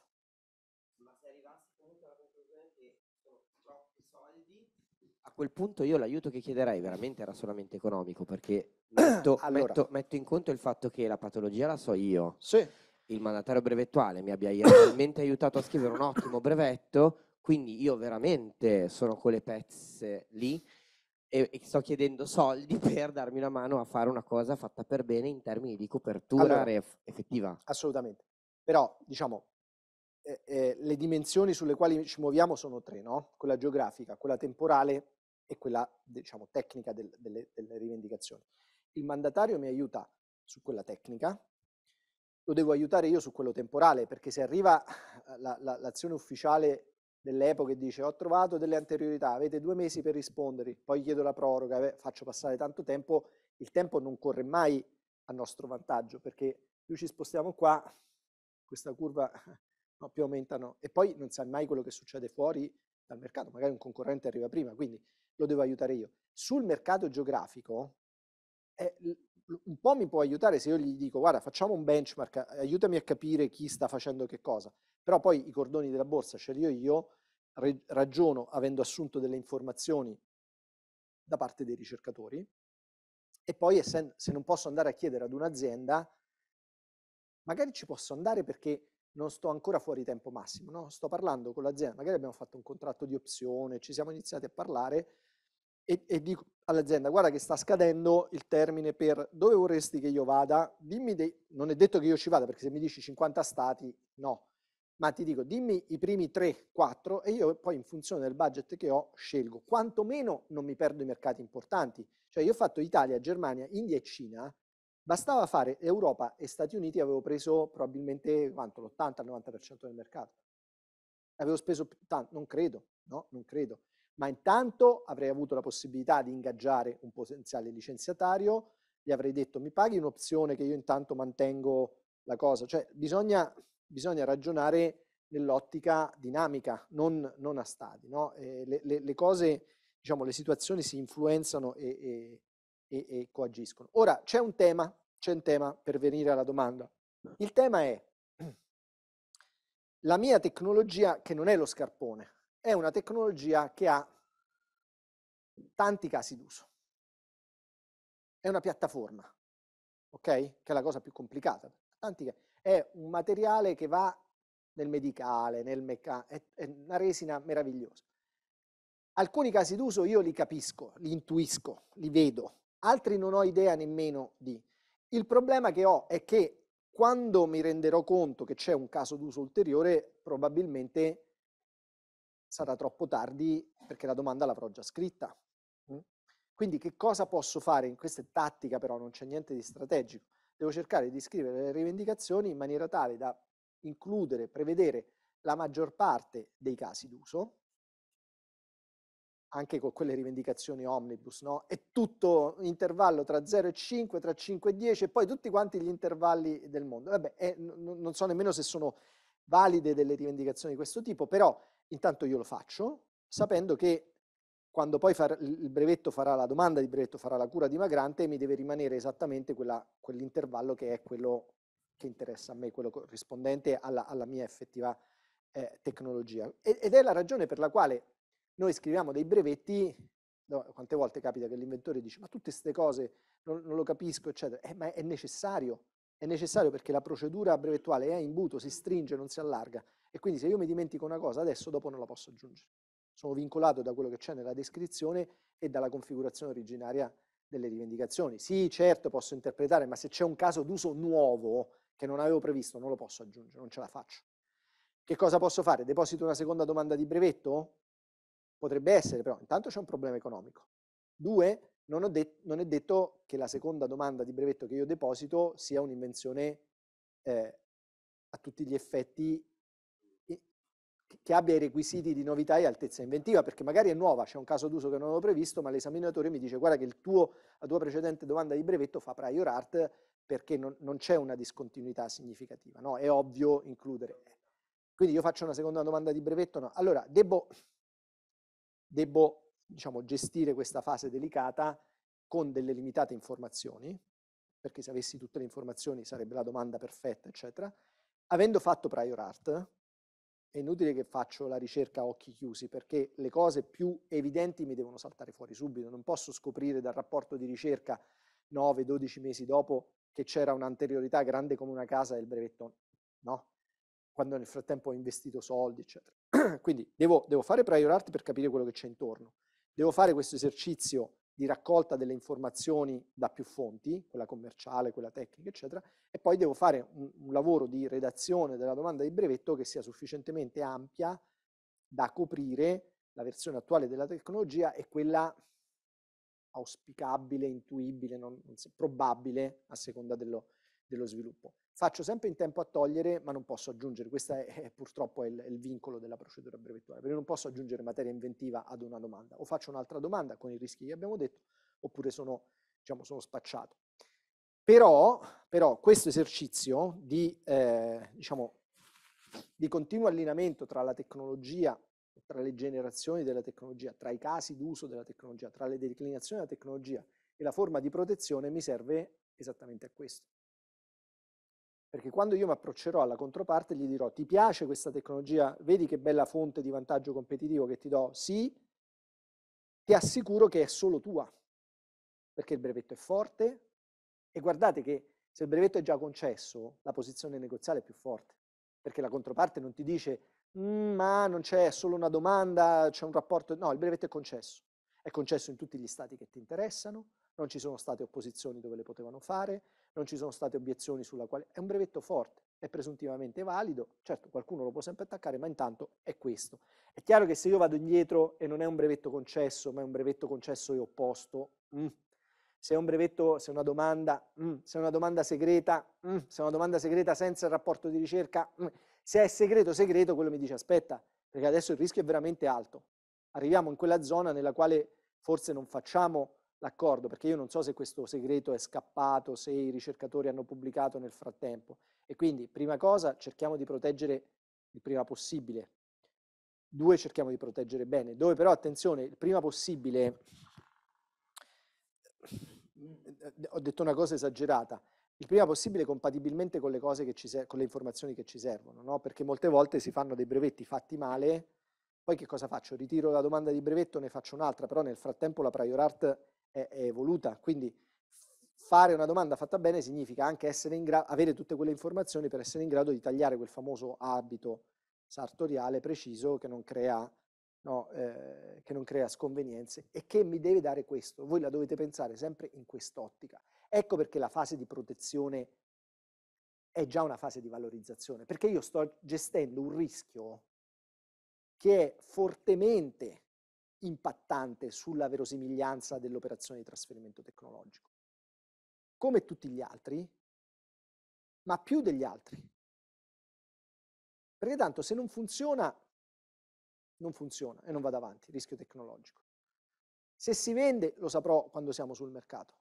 Ma se funziona e si vende, e si vende in, tanti, in volumi grandi, ma me lo copiano perché il brevetto è fatto male, non ci vado sul mercato. E se lo devo prendere in licenza, non lo prendo in licenza. Allora, questo, questo rischio evolve e con l'evoluzione di questo rischio chiaramente evolve la natura dell'operazione e il contenuto del, dell'accordo. Perché quando il rischio è troppo alto, soprattutto se è alto in relazione agli altri, l'operazione non si fa. Rischio di fuoriuscita di know-how, mercato incerto, tecnologia ancora poco matura, no grazie.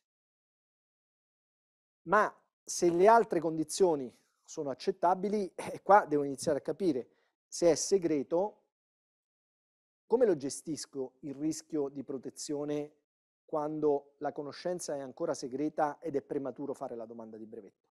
Faccio una domanda prematura o faccio qualche altra cosa? Accordo di riservatezza? No? Accordo di riservatezza serve a questo. Io vincolo la parte alla quale sto parlando dicendo firmami un pezzo di carta che col quale ti impegni a non utilizzare, a non trasferire, a non ridire le cose che io ti sto per dire.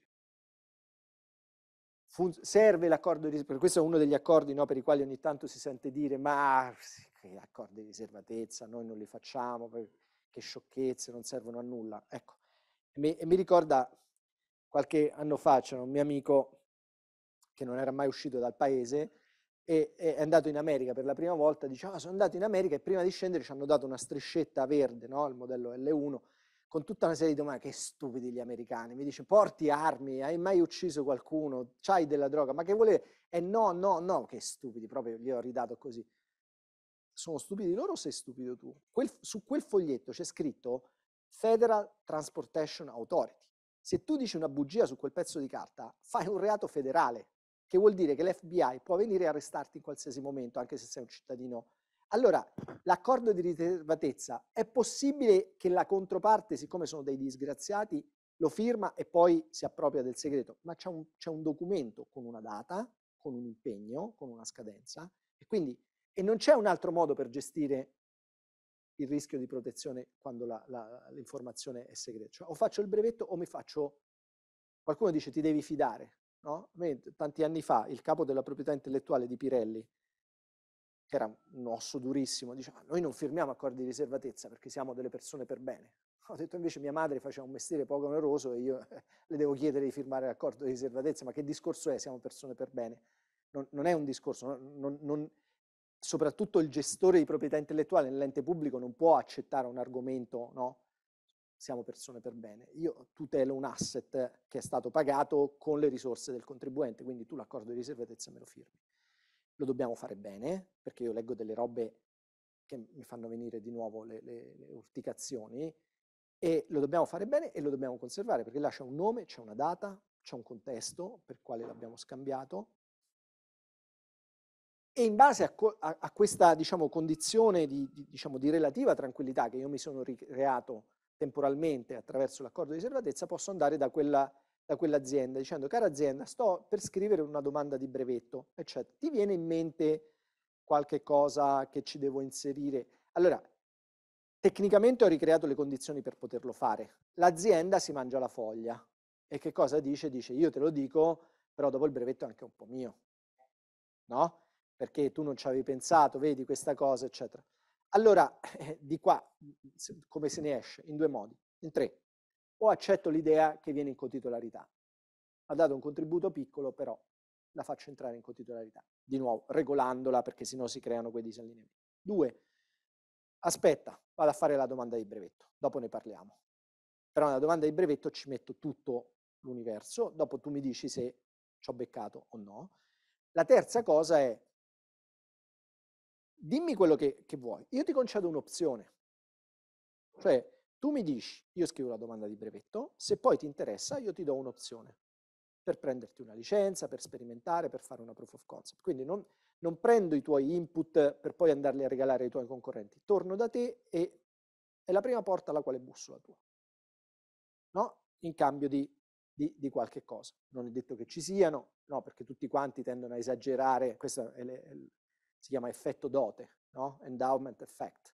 Tutti quanti tendono a esagerare quello che hanno a diminuire quello. Quindi quello è venuto, ha già fatto il brevetto, io gli ho detto metti una virgola, vedi, con titolarità al 50%, ma mi hai dato una virgola, eh, ma una virgola importante, è la mia virgola. Allora, sì, ma questo è il mio brevetto, no? e, e, e non, non si va da nessuna parte. Ma, ma, questo oltre che un accordo di riservatezza sta quasi implicando già una R&D agreement. Potrebbe, Sembra, potrebbe c'è già la faccia di una R&D agreement. Potrebbe essere un accordo di riservatezza con un'opzione per licenza, oppure potrebbe essere due accordi paralleli, potrebbe essere un accordo complessivo. Quello che voglio dire è, ci sono delle risposte che noi possiamo dare, l'obiettivo è sempre questo, cioè l'obiettivo è non indebolirsi nel momento genetico del brevetto, perché sennò quel signore, siccome poi quando io metto il coperchio, il sopra e il sotto sono uniti, se lui è cotitolare del brevetto è cotitolare della tecnologia e quindi non me la pagherà, dirà, ma perché ti devo pagare una cosa che già per un pezzo è mia, no? Mentre sarebbe più forte la posizione se uno dicesse è tutto mio e, e dobbiamo ragionare su un piano diverso, magari un piano contrattuale, non, non- non proprietario, no? Non sto dicendo che questo sia facile, eh? non sto dicendo che sia facile, sto dicendo che esistono degli strumenti per gestire queste dinamiche eh, e, e le aziende ci proveranno fino in fondo a dire che questo succede, guardate, non succede, questo credo che sia importante, purtroppo non succede sempre in contesti strutturati, cioè ti ho chiamato un giorno e ho detto puoi venire da me, sei venuto, sei entrato, ci siamo seduti a un tavolo, ho detto sto, firmami l'accordo, sto facendo questo, tu mi dai questa informazione. Molte volte queste informazioni che sono strumentali appunto alla, alla costruzione del portafoglio di proprietà intellettuale o addirittura alla costruzione del sottostante, dell'innovazione, sono informazioni che ci scambiamo in contesti che nessuno si immagina. no? A me è capitato anni fa un caso interessantissimo ma drammatico, eh, era ancora, non mi ricordo se era sesto o settimo programma quadro, quindi programma finanziato dall'Unione Europea, cordata di sette università in tutta Europa e una startup di un paese, eh, di un paese non dell'Unione Europea, ma di quelli ammessi. Ehm, il progetto era che bisognava sviluppare, questo erano i deliverable, due prototipi di un dispositivo medicale, non mi ricordo se era un arto, un'anca, non mi ricordo, comunque due prototipi eh, fatti in un certo modo e portare queste- questa cosa a un TRL6, una cosa del genere. Allora, alla fine che cosa succede? Devono scrivere, così prevede il, pro- il progetto europeo, devono scrivere l'exploitation plan. No, bisogna scrivere, la Commissione europea dice, ho dato i soldi, che cosa ne succederà di questi due prototipi? Scrivono l'exploitation plan e l'azienda, l'unico privato là dentro, dice no, questo exploitation plan non va bene perché dice che noi faremo, dice, ma io ho un brevetto su questa tecnologia. Dice, ma come un brevetto? E quando l'hai fatto? Ah sì sì, l'ho fatto, ve l'ho anche detto. Ce l'hai detto. E succede il finimondo. Io non cre- credo che quel progetto sia andato a revoca, eh? addirittura. Perché a un certo punto non, non riuscivano a, a consegnare l'exploitation plan, il policy officer dice ma che cosa è successo? E gli hanno raccontato la storia. Era successo questo. E guardate come, diciamo, come vi sto motivando il fatto che certi scambi non avvengono in contesti, in contesti regolati. Cioè loro che cosa avevano fatto? Avevano svolto questa attività di ricerca ed erano alla fine del percorso, ehm, dove dovevano fare l'exploitation plan, avevano fatto un'attività di ricerca e sviluppo, quindi l'attività prevista dal progetto. L'attività prevista dal progetto era partita in un momento in cui loro avevano scritto il, il funding agreement, no? firmato il, il funding agreement, allegato al funding agreement c'era il consortium agreement, l'accordo di consorzio, dove c'era anche l'accordo sulla proprietà intellettuale. Eh, per fare questa cosa avevano negoziato con la commissione a partire dal momento in cui c'era stata la comunicazione del vincitore. Dice, vi siete aggiudicati questa cosa. Come ci si era arrivati qua? Perché qua avevano depositato la proposta. avevano fatto la submission della proposta. E come si era arrivati alla proposta? Perché avevano scritto il progetto, e avevano scritto il progetto perché a un certo punto si erano incontrati facendo tutta una serie di meeting informali, poi a un certo punto hanno detto, ok, go, c'è una call, andiamo, scriviamo il progetto, sottoposizione, valutazione, negoziazione, esecuzione e qua finisce il, il progetto e qua si litiga. Che...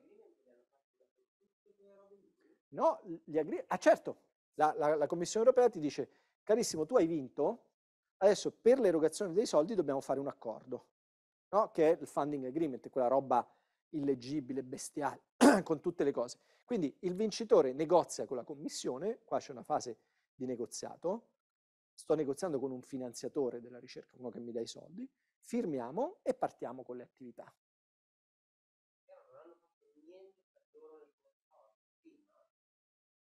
Questo, questo, è il punto. Non solo, no, la cosa è ancora più grave. Perché? Perché loro hanno detto andiamo quando è uscita la call, che no, nel frattempo si erano già incontrati, hanno detto ma sai tu sai fare questo, allora potremmo mettere, sì, due, fa, quanti, allora facciamo due prototipi, bla, li fai uno tu da una parte uno dall'altra, poi, poi vediamo. La mentalità del ricercatore che è preoccupato del ricercatore e non dell'exploitation, torniamo al discorso di questa, di questa mattina. Partecipa ai meeting informali l'azienda, la quale sta là e prende appunti in maniera molto silenziosa e discreta. Che cosa fa? Eh, sapete dove, dove ha brevettato? Loro, quando l'azienda alla fine gli ha detto ma io ho brevettato, dice ma come? Ma io ve l'ho anche detto, perché nel consortium agreement voi lo sapete che c'è un allegato dove io devo dire qual è il background, no, devo dire qual è la proprietà intellettuale e ho la possibilità di escludere che un mio background finisca nel, nel, progetto oppure nelle fasi successive, quelle diciamo di exploitation. Cioè io posso dire ho un brevetto, lo metto a disposizione del consorzio per fare l'attività di ricerca, ma in fase di commerciale lo, è a disposizione solo se ci mettiamo d'accordo economicamente. E quello ha detto così, ha detto io nel consorzio, se vi ricordate, avevo detto che avevo una domanda di brevetto che avevo depositato quando? Qua, qua, ma che cosa è successo? Era segreta nel momento in cui io l'ho dichiarata. Ho detto, ho una domanda di brevetto che, verrebbe da dire una parolaccia, aveva lo stesso titolo del progetto, arto, migliorato, quindi, ma chi è che se li legge i consortium agreement? Gli avvocati, questa è una roba per avvocati. L'avvocato legge arto, dice no, questa è una roba per i tecnici. E quindi di fatto nessuno si era reso conto che l'azienda aveva una domanda di brevetto che era stata redatta esattamente sulla base degli appunti presi durante le riunioni, ma nessuno aveva tenuto traccia, nessuno si era preoccupato di dire signori nel momento in cui noi iniziamo a parlare siamo in un ambiente già di scambio di informazioni, qua c'è già un rischio di protezione, perché se uno di noi dice una cosa che non preesiste, stiamo aggiungendo del nuovo.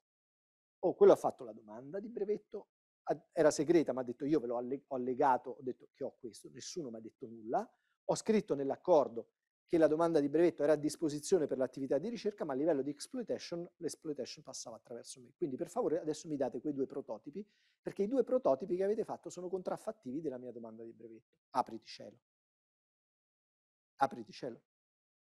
Il, lo scambio, ris- questo rischio di protezione era qua. Ma, ma, la ricerca è, è destrutturata, no? Ci vediamo, abbiamo fatto un meeting, lui ha parlato, lui mi ha detto, eccetera. Non si sono resi conto che in realtà non stavano parlando di un prototipo che avrebbe dovuto prototipare, stavano inventando una cosa e, e non se ne sono accorti.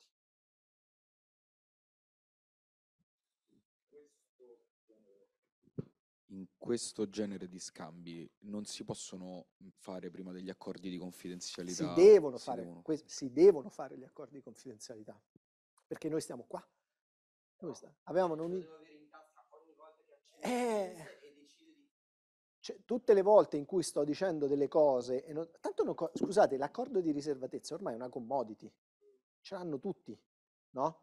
Però come sarebbe cambiata la cosa se avessero firmato qua, avessero scoperto, anche dopo che questo signore si era fatto un brevetto, mi detto, no, tu ti sei appropriato del know-how. Perché sei venuto alle riunioni, non hai detto una parola, stavi solo là a verbalizzare. Le parole le abbiamo detto noi. Come minimo non è tuo.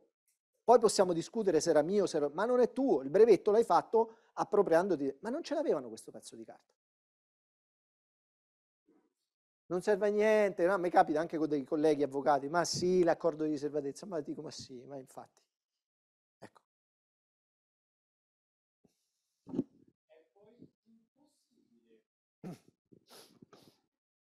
Una volta scoperto che c'è un brevetto mh, mm, su una cosa sviluppata magari tra due partner, però solo uno è poi andato avanti a brevettarlo senza dire niente all'altro. È possibile poi rivendicare la propria posizione all'interno del brevetto? Nel senso che so che per i patent americani fanno decadere il brevetto se anche uno solo degli inventori dice no, io guarda che ho collaborato a questa cosa. E cosa deve esserci a supporto? Per, cioè, nel senso, mail in cui si parla di questa cosa, eh, do, che tipo di documenti, uh-huh. cosa uno poi dovrebbe portare? Allora, eh, c'è negli Stati Uniti questa cosa che si chiama lack of, in- eh, of inventorship, no? Ma c'è anche da noi. L'articolo 118 del codice di, di, della proprietà industriale parla di invenzione dell'inventore pretermesso, così si chiama. Ti sei scordato che c'ero anch'io.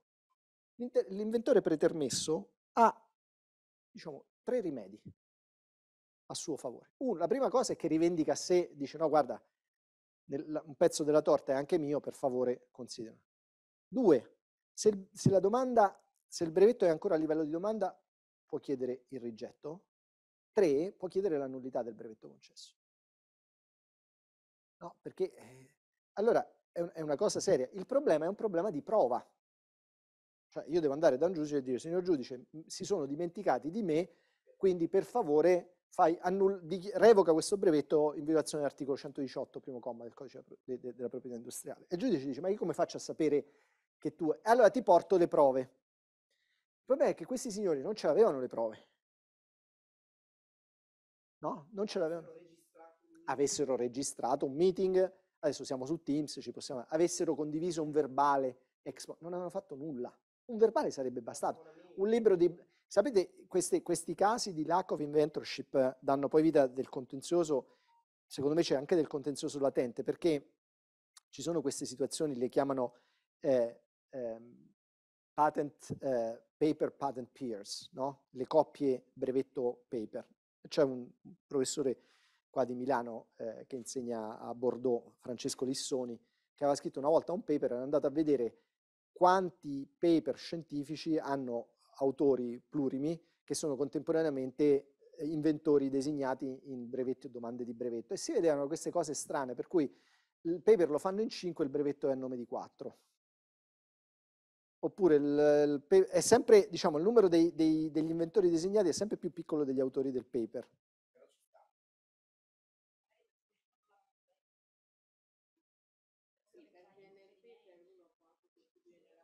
Sì, ma c'è un caso, c'è un caso negli Stati Uniti, l'Università di Duke, dove un professore con una sua dottoranda cinese avevano fatto un'attività di ricerca, avevano fatto un brevetto, poi avevano fatto un paper, il paper l'avevano fatto a nome di tutte e due, era la tesi di dottorato della ragazza, ma il brevetto l'aveva fatto lui.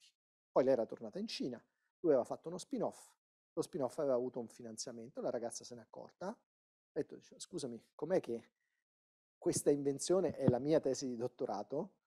Fa eh, hai fatto la domanda di brevetto, non mi hai detto nulla, poi abbiamo fatto il paper, ci hai voluto il nome sopra, sono andati in contenzioso e, e ovviamente poi lei ha avuto, no, è stata rimessa in cosa. Allora, l'evidenza empirica di queste è, diciamo, è unconclusive, non voglio dire che, che ci siano cose, però bisogna, quando viene il, il ricercatore nell'ufficio trasferimento tecnologico, fa la disclosure dell'invenzione e dice gli inventori sono Tizio, Caio e Sempronio, allego il paper, Tizio, Caio, Sempronio, eh, ma questi altri?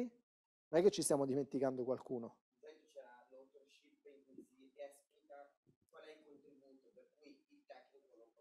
Sì, ma molte volte, molte volte non è solo il tecnico che... Come dicevo prima, guardate, alle volte ci sono più inventori di quelli che effettivamente hanno inventato, alle volte ce ne sono meno, però se ce ne sono di più e non c'è la, dire, il contributo inventivo, ma se manca il contributo inventivo c'è, una sanzione molto grave, cioè l'inventore pretermesso può fare muoia sanzione a tutti i filistei, cioè io faccio dichiarare nullo il brevetto per carenza di, di, di attività inventiva da parte... Capite che la conseguenza è seria, no? E queste cose si scoprono sempre dopo quando è iniziata l'attività di valorizzazione e via discorrendo. Per cui i profili soggettivi del brevetto sono, sono sempre problematici, in particolare noi in Italia abbiamo questa norma strana per cui l'invenzione è dell'inventore, però è dell'università, dell'ente pubblico, no? quindi c'è anche questo, questa complessità. Però viene fuori questo tema, eh? perché quando poi il licenziatario, l'impresa dice fammi vedere le domande di brevetto, chi sono gli inventori, fammi vedere che ti, ha ceduto, che ti hanno ceduto, fammi vedere che c'è l'assignment. Questo succede nelle migliori famiglie anche, anche private. Noi, diciamo, gli enti pubblici non hanno nessuna esclusiva di, diciamo, di fare le cose necessariamente bene o male, succede, ve lo dico per esperienza, succede dappertutto. Però c'è anche questo profilo e ovviamente tutti i vizi del titolo di proprietà eh, fanno sì che il rischio di protezione aumenti, che apparentemente è stato gestito, ma se è stato gestito male vuol dire che è ancora là e quindi l'operazione è rischiosa e quindi forse non, non, non, non si fa. No? C'è, qua c'è casistica, c'è casistica. E, ehm, quindi vi stavo dicendo, in quella circostanza, in quella circostanza eh, la questione diventa di prova. Nessuno di loro aveva dubbi sul fatto che di questi prototipi avessero parlato, tutti loro tranne, anche perché quell'azienda era un'azienda, un'officina meccanica, non aveva la capacità di, di disegnare, realizzare, però stava là, si è preso gli appunti e ha detto, ah, adesso ci penso io a fare la domanda di brevetto. E, e, la domanda è, ce l'avete un pezzo di carta? Ma no, ognuno aveva i suoi appunti, poi sai, eh, ci siamo visti, questo progetto era durato tre anni, sei mesi di negoziazione, sei mesi di valutazione, aspettiamo la call, cioè erano passati cinque anni, non ce l'ho più, erano, cioè, ti ricordi chi c'era? Ma era quello, eccetera. Questo voglio dire, la, lo scambio di informazione non avviene sempre in un contesto strutturato e bisogna ricordarsi di strutturarlo, perché ne va della qualità della protezione, che è una determinante del successo dell'operazione di trasferimento tecnologico. Quindi, prima io ho, come dire, una attenzione all'informazione confidenziale, poi ho una attenzione all'informazione che codifico nella domanda di brevetto e poi ho la doppia attenzione, uno, a far sì che la domanda di brevetto e poi il brevetto siano sempre allineati alla tecnologia, che non siano divergenti. E poi devo monitorarlo il mercato. Però fortunatamente il monitoraggio lo farà il licenziatario. Solo che se poi il licenziatario si trova un brevetto debole, farà fatica a fare l'azione di enforcement e quindi di nuovo c'è questo meccanismo retroattivo per cui non, non, il rischio è troppo alto e non lo prende. Tenete conto, noi li abbiamo analizzati uno per uno, ma eh, chi deve prendere la decisione li vede tutti insieme, no? E quindi fa una valutazione comparativa dell'accettabilità del rischio e, e qua l'operazione non la fa, qua la fa ma vuole tutte le cautele, qua la fa meglio. Ecco perché si dice facciamo proof of concept, no? utilizziamo delle risorse interne per fare proof of concept, perché l'effetto immediato della proof of concept dal punto di vista del potere negoziale è una, il de-risking tecnologico, no? una maggiore possibilità di far vedere quali sono i rischi di mercato, per questa cosa funziona, vedi, non, non è difficile da produrre, si possono fare economie e soprattutto eh, posso fare un brevetto meglio o posso farne un secondo sul miglioramento, quindi mi porto più avanti, più avanti l'operazione è sicuramente possibile, è sicuramente possibile a delle condizioni, delle condizioni migliorative rispetto a quelle, eh, a quelle di, di, un qualsiasi momento, di qualsiasi momento precedente. Ora, nel fare l'accordo, vedete che poi in realtà ci sono in realtà molti accordi che servono per gestire questi rischi, perché c'è un accordo, ci può essere un accordo di proof of concept per il rischio tecnologico, c'è sicuramente l'accordo di riservatezza per l'informazione confidenziale, poi ci può essere un accordo di vendita della tecnologia oppure di licenza della tecnologia, eh, c'è un, diciamo, l'accordo è uno spartiacque, no? Tra il momento, tra tutte le, le, cose che sono successe prima e le cose che succederanno dopo, dove tra le cose che succederanno poco, dopo auspicabilmente prima o poi ci sarà l'ingresso sul mercato. E l'ingresso sul mercato segna il momento in cui eh, il rischio di mercato è andato giù, dobbiamo capire a questo punto, visto che si è inverata quell'idea per cui la mia tecnologia ti avrebbe dato vantaggio competitivo e i miei brevetti te lo conservano, dobbiamo vedere come gestiamo gli eventuali i, i profili diciamo di, di eh, scusate eh. vado? ah perfetto eh, no, questo, questo è interessante vi voglio far vedere dei dati adesso quando i giuristi parlano dei dati diciamo prendetemi sempre con cosa però questo è uno studio che abbiamo fatto con dei colleghi di Bruxelles e di eh, Maastricht, eh, intervistando delle piccole e medie imprese chiedendo quali fossero gli ostacoli. Era un lavoro che abbiamo fatto per la Commissione europea, per la DG Research. E abbiamo chiesto quali sono gli ostacoli all'out licensing, cioè che fatica fate nel, nel, portare fuori la tecnologia. E vedete quello che è interessante, Il, nella maggior parte dei casi no, c'è una probabilità alta che l'operazione non avvenga perché e basso livello di, di, di maturazione. No? La valle della morte, il TRL basso, rischio troppo alto, l'operazione non, non si fa. Poi, difficoltà nel trovare il giusto licenziatario. Questo bisogna dire a quelli che dicono dovete fare le licenze non esclusive. Oh, ma io ne ho trovato uno. E quello la vuole esclusiva. Che faccio? Gli dico di no con la speranza che forse trovo il secondo e il secondo mi dica ah sì sì va bene, se il secondo non lo trovo e non c'è o non c'è il terzo, eh, però in, in, ogni caso lo devo identificare, no? Ed è difficile trovare, dei, o ci sono rapporti pregressi o qua c'è un tema di marketing della tecnologia no, non banale. E poi, eh, quanto gli faccio pagare? Cioè come, qual è il modello di pricing? Perché non, sto, non gli sto dando lo scarpone da sci, gli sto dando una tecnologia che andrà sul mercato, che starà dentro dei prodotti, che stanno dentro degli altri prodotti. No? Questo è interessante per... Nessuno di voi fa ricerca nel settore eh, agrario, vero? No, nel settore delle nuove varietà vegetali è bellissimo perché io ho selezionato una nuova varietà di mela e adesso la devo licenziare. A chi la licenzio? Al vivaista che le riproduce o al produttore di mela che le dà al vivaista? E poi mi, mi faccio pagare... Qual è il Qual è la royalty che mi faccio pagare? Per pianta o per chilo di mela? Cambia, no? Perché una pianta fa tanti chili di mela. E benché la royalty sia molto piccola, se misurata al chilo di mela, sono tanti, tanti chili di mela per tanti, tanti anni. La pianta è una, la metto sul campo, sta là per 10 anni, 15 anni. Ma c'è un altro problema. La royalty sulla pianta la, la, la, me la paga il moltiplicatore, cioè il vivaio che le riproduce. Quello sulla mela me la paga quel signore Melinda che raccoglie le mele. Anzi, nemmeno lui, perché Melinda è un consorzio. Quindi le mele le raccoglie l'agricoltore, che le porta al consorzio che gliele paga, ma le vende il consorzio. Quindi io dovrei, no, dovrei fare un accordo che passa 4-5 livelli per andarmi a prendere. E questo è un tema, però è, è questo tema. Qual è il modello di remunerazione di una, di una tecnologia? E le difficoltà nello stabilirlo creano questi problemi. Eh, questo invece è ancora più interessante, cioè quali sono le barriere e gli ostacoli all'acquisizione della tecnologia.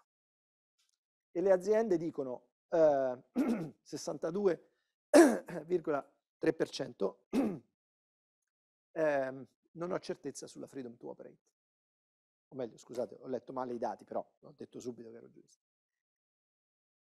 Nel 62,3% dei, dei, dei, dei casi si ritiene che la responsabilità della mancata eh, conclusione dell'accordo sia un tema di freedom to operate, perché quella è la prima cosa alla quale guarda il, il, il licenziatario. Che significa qualità della protezione. Significa qualità della protezione e significa anche posizione di questa innovazione nello scenario tecnologico, perché io potrei aver fatto il brevetto di nuovo, ma è un brevetto dipendente è nuovo, ha tutte le caratteristiche, peccato che nel rifare quel procedimento passo sopra eh, l'aiuola di qualcun altro. Quindi tantissimo, eh? questo la dice lunga sulla qualità della protezione. Due, tipo di pagamento o schemi. Quanto quello mi, mi, dice che vuole 100 subito e non vuole le royalties, quell'altro dice dammi 50 ma il 7% di royalty. No, il 7 è troppo e su queste cose chiaramente si negozia. E poi c'è No, questo. Ehm, scusate, non, non, non, abbiamo tantissimo tempo. Vi volevo far vedere questo, di questo abbiamo parlato, no? queste sono le dimensioni dell'esclusiva, poi vi ho lasciato le slides, non so quanto siano intellegibili senza la, il, voce, il soggetto parlante. Però parliamo di, di, di, di corrispettivi, no? per farvi capire come si gestisce il rischio, perché, allora, perché statisticamente la determinazione del corrispettivo incide molto sulla la possibilità di fare l'operazione. Un, un aspetto è la freedom to operate, un altro aspetto è eh, la, la determinazione dei corrispettivi. Ora, se io do a un signore un paio di scarpe, mi aspetto che questo mi paghi il prezzo.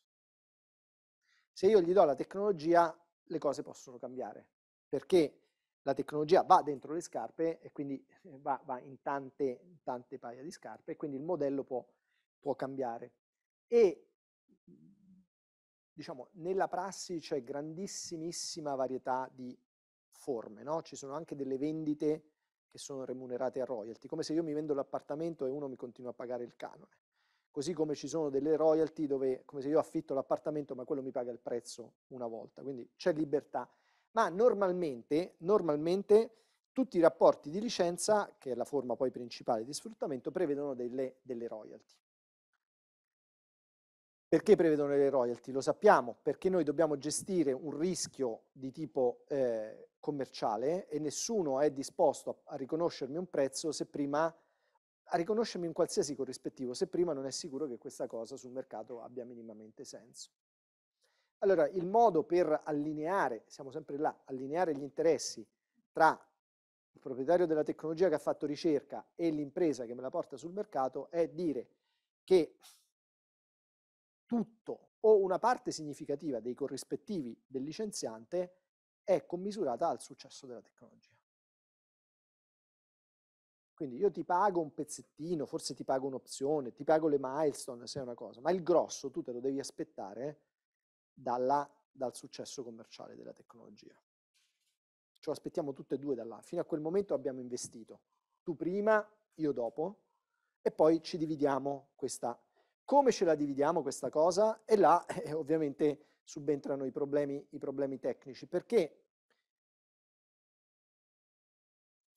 se noi guardiamo la, la, quello che succede sul mercato, ecco, quello che succede sul mercato è che prima dell'introduzione dell'oggetto sul mercato l'azienda investe, no? deve completare quella, quello sviluppo e quindi investe, quindi perde, qua abbiamo sempre il tempo e i soldi e le variabili sono sempre quelle, che poi forse sono la stessa cosa, ma ehm, l'azienda perde. Poi c'è un momento in cui, se non è l'azienda che perde perché la ricerca l'ha fatta l'ente, è l'ente che ha investito in ricerca e sviluppo.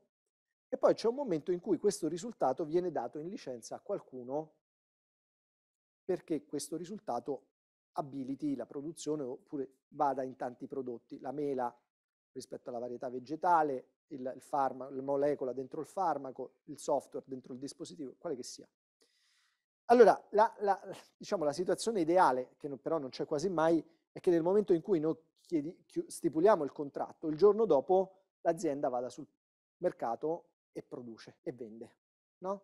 In realtà sappiamo benissimo, proprio perché lo sviluppo può essere ancora lungo, che tra la conclusione del contratto, la licenza e il momento in cui il, prodotto, il primo prodotto va sul mercato può passare anche tanto tempo, anche anni, pensate al prodotto farmaceutico. Comunque c'è un momento in cui questo benedetto prodotto va sul mercato e sulla base di quel prodotto l'azienda fa delle vendite che auspicabilmente crescono no, nel tempo, poi il prodotto diventa obsoleto e le vendite iniziano a decrescere, oppure si portano, pensate al prodotto farmaceutico, si portano su dei livelli costanti, cioè, purtroppo certe malattie non scompaiono e le vendite sono sempre, sono sempre alte.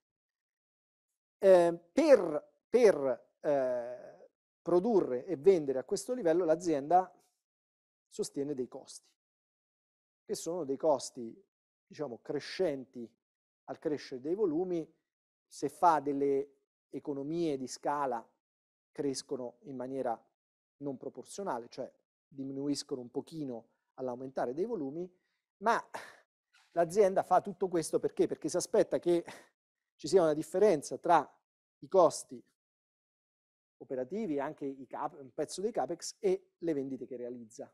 E questa fetta qua, questo triangolo qua, è il profitto. È quello che motiva tutto, tutto quanto.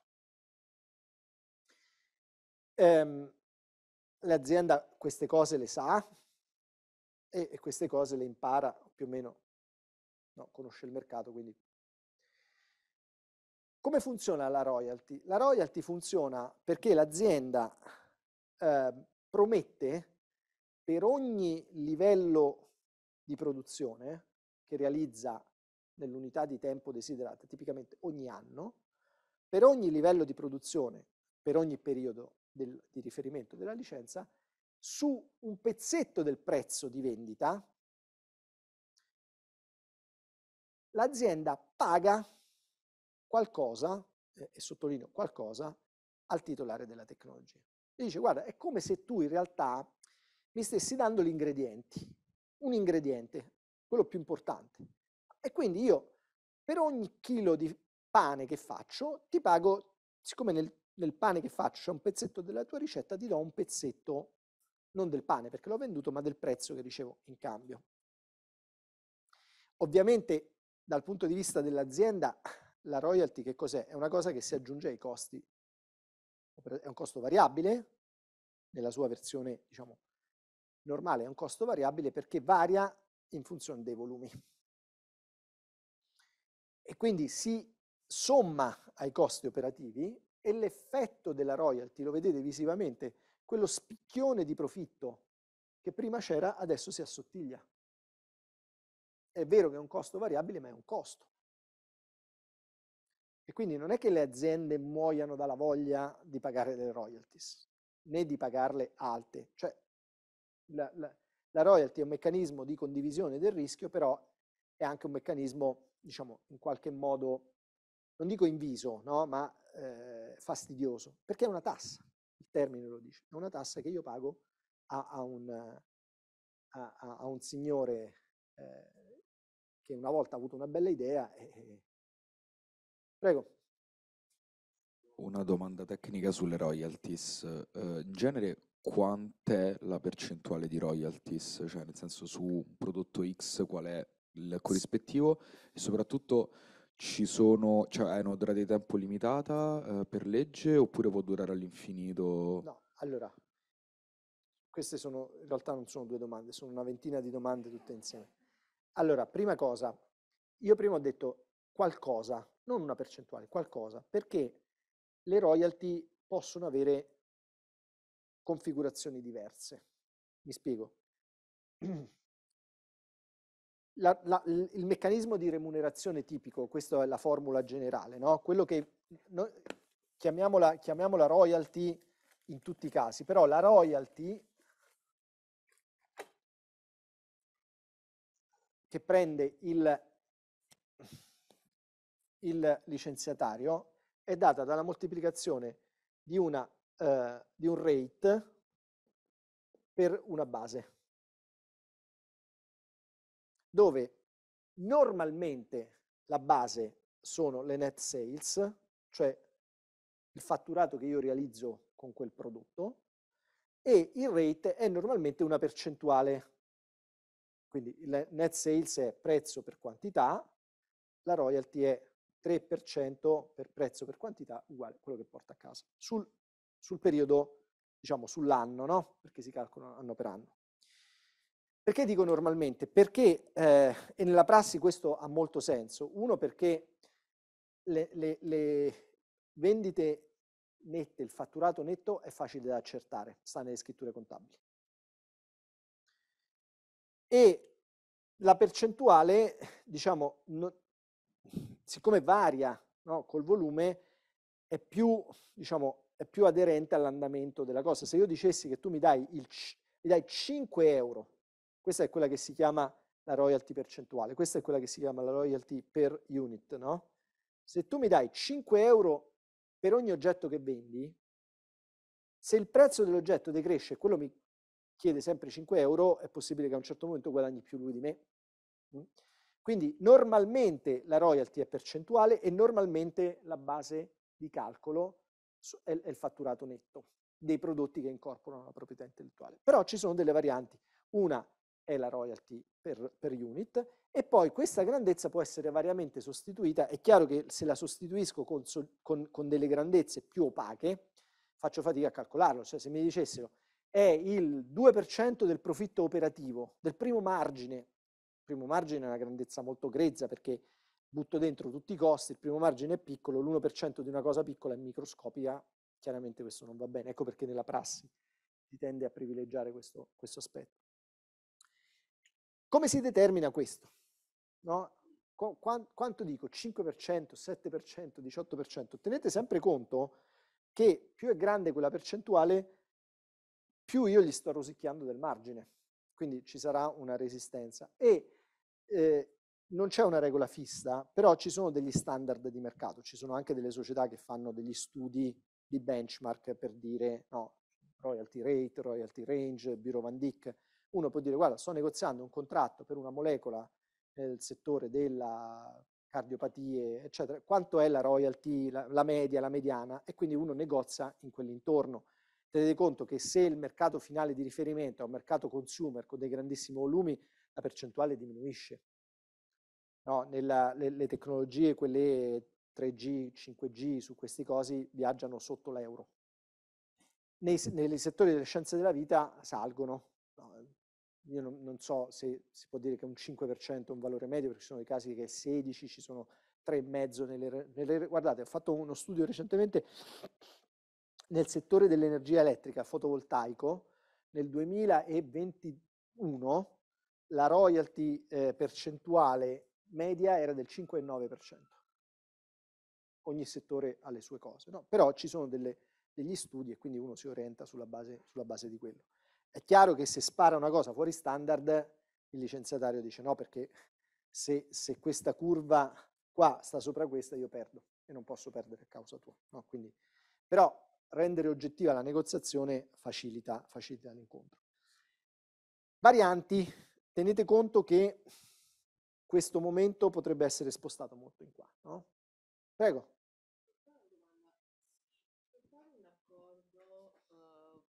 Ancora nel caso in cui c'è una collaborazione, ad esempio, quindi uno vuole pubblicare un brevetto, si può fare un accordo su quella che può essere la possibile licenza prima ancora di pubblicare il brevetto? Sì, sì, assolutamente. Sì, sì. Quindi rientrano tipo in accordi cioè, nel senso tipo tra inventore e azienda, Assolutamente. di questo genere. Qual è la, il problema in quel caso? Che l'azienda non sa ancora se il brevetto c'è, se ci sarà, se verrà concesso, quindi il rischio di protezione è più alto e l'azienda dice io questo rischio me lo prendo ma ti pago pochissimo. Okay. No? Non ti pago nulla, oppure ti pago a milestone. Quando arriva il rapporto di ricerca, se è positivo ti do X, se è negativo ti do X-5 se poi facciamo, decido di, di, di, passare le fasi internazionali, se nazionalizzo, eccetera, ci possono essere delle, delle, remunerazioni di nuovo a milestone per tenere allineato, perché se no il ricercatore dice sì sì ti faccio il brevetto, scrive la qualsiasi cosa, poi se ne va e l'azienda si ritrova. No? Quindi il meccanismo delle milestone è possibile anche in questi casi. Ovviamente ricordatevi sempre quella, quel freccione, più siamo a sinistra, più è difficile fare un accordo che non sia parametrizzato a qualche altra cosa. No, più sono avanti, più arrivo a... Anche la royalty, anche diciamo, la royalty è più alta dove il prodotto è più maturo. C'è niente da fare. Quindi se, io, se, se questo momento di entrata sul mercato è ragionevolmente vicino al momento in cui noi firmiamo la, licenza, vuol dire che la tecnologia è molto matura e io sono legittimato a chiederti di più.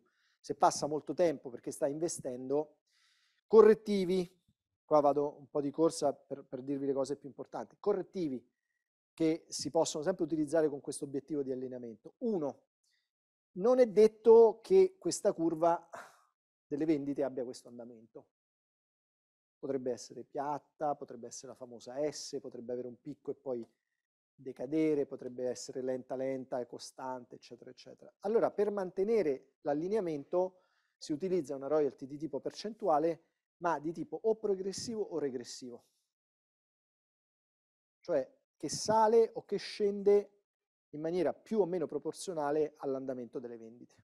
Quindi se la vendita, se le vendite hanno un andamento lento all'inizio, io ti chiedo meno, così tu recuperi prima gli investimenti fatti e poi man mano che sale, e quindi ci potrebbero essere delle royalty che prendono in considerazione livelli scaglioni diversi.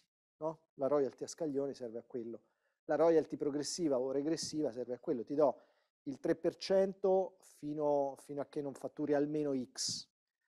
Quando fatturi sale oppure scende. Questo serve, è frutto della negoziazione e serve, non c'è qua, non ci sono norme imperative che impediscono, è tutto frutto della, della negoziazione.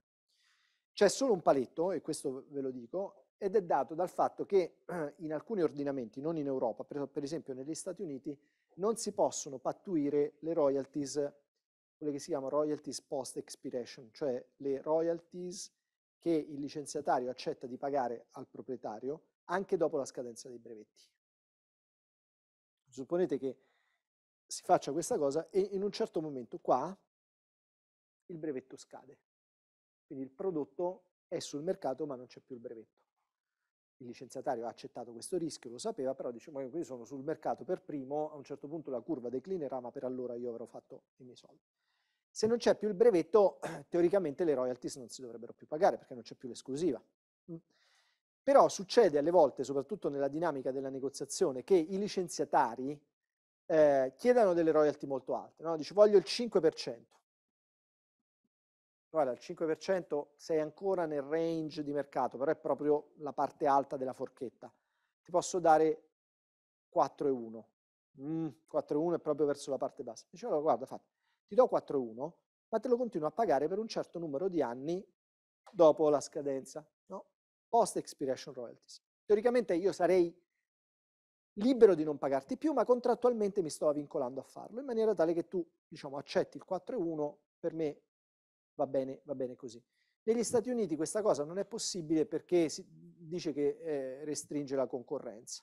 C'è stato anche un caso recente della Marvel, eh, però è chiaramente un caso, un caso sbagliato. Nel resto del mondo questa cosa si può fare, la royalty post expiration, che serve ovviamente di nuovo ad allineare nel momento in cui si fa l'accordo l'interesse tra le due parti. Il licenziatario che dice io sono veramente interessato ma non ti posso dare tanto, però posso prolungare questo momento in cui, quando magari perché il mercato sarà ancora, la domanda sarà ancora alta. Quindi ci può essere una royalty, una royalty regressiva, ci può essere una royalty progressiva, ci possono essere royalty a scaglione, ci sono, e questo è abbastanza diffuso, sempre come meccanismo di allineamento degli interessi, quelle che si chiamano le royalty minime o il minimo garantito, quello che volgarmente chiamiamo minimo garantito, che sono royalty di tipo running, cioè si applicano anno per anno, ma sono fatte eh, in questo modo, cioè si dice la base di calcolo sono sempre le vendite e la royalty è sempre un x%, supponiamo. Ma eh, tu mi paghi ogni anno x come minimo x, indipendentemente dal fatto che 5% moltiplicato le vendite nette mi dia x. Cioè mi garantisci che mi dai un tot che per te a questo punto diventa un costo fisso, perché se tu non produci comunque mi devi dare x. Se produci per meno di x comunque mi devi dare x. Se produci per più di x io te lo sconto da quello che tu mi devi dare. No? Se ho ricevuto 5.000 e la royalty per quell'anno è 35.000, ho diritto alla differenza. Ma se la royalty minima è 5.000 e tu hai fatto 4.000, mi dai sempre 5.000. Se hai fatto 0, mi dai sempre 5.000.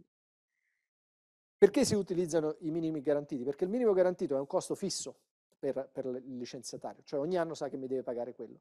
E l'unico modo per evitare che il, il costo fisso si sommi ai costi operativi di periodo variabili e riduca il margine è produrre, è espandere la produzione, perché vuol dire che quel costo fisso si ripartisce su tante diverse, diverse unità. E quindi la royalty minima si mette per essere sicuri che il licenziatario non prende la licenza e poi no, non, non, la utilizza, ma la prende e, e, produrrà almeno quanto basta per far sì che quei 5.000 per lui non siano una perdita. No, questo è il meccanismo del, del, minimo, del minimo garantito. Per il licenziante eh, è una cosa gradevole, no? Perché dici, senti, sì, dividiamo il rischio com commerciale, però intanto in realtà lo si fa perché io, voglio, io licenziante voglio scongiurare il fatto che questo signore che sembra tanto bello, gentile e serio non stia acquisendo la tecnologia solo per motivi difensivi, cioè se la prende per non darla a un altro e poi non la utilizza.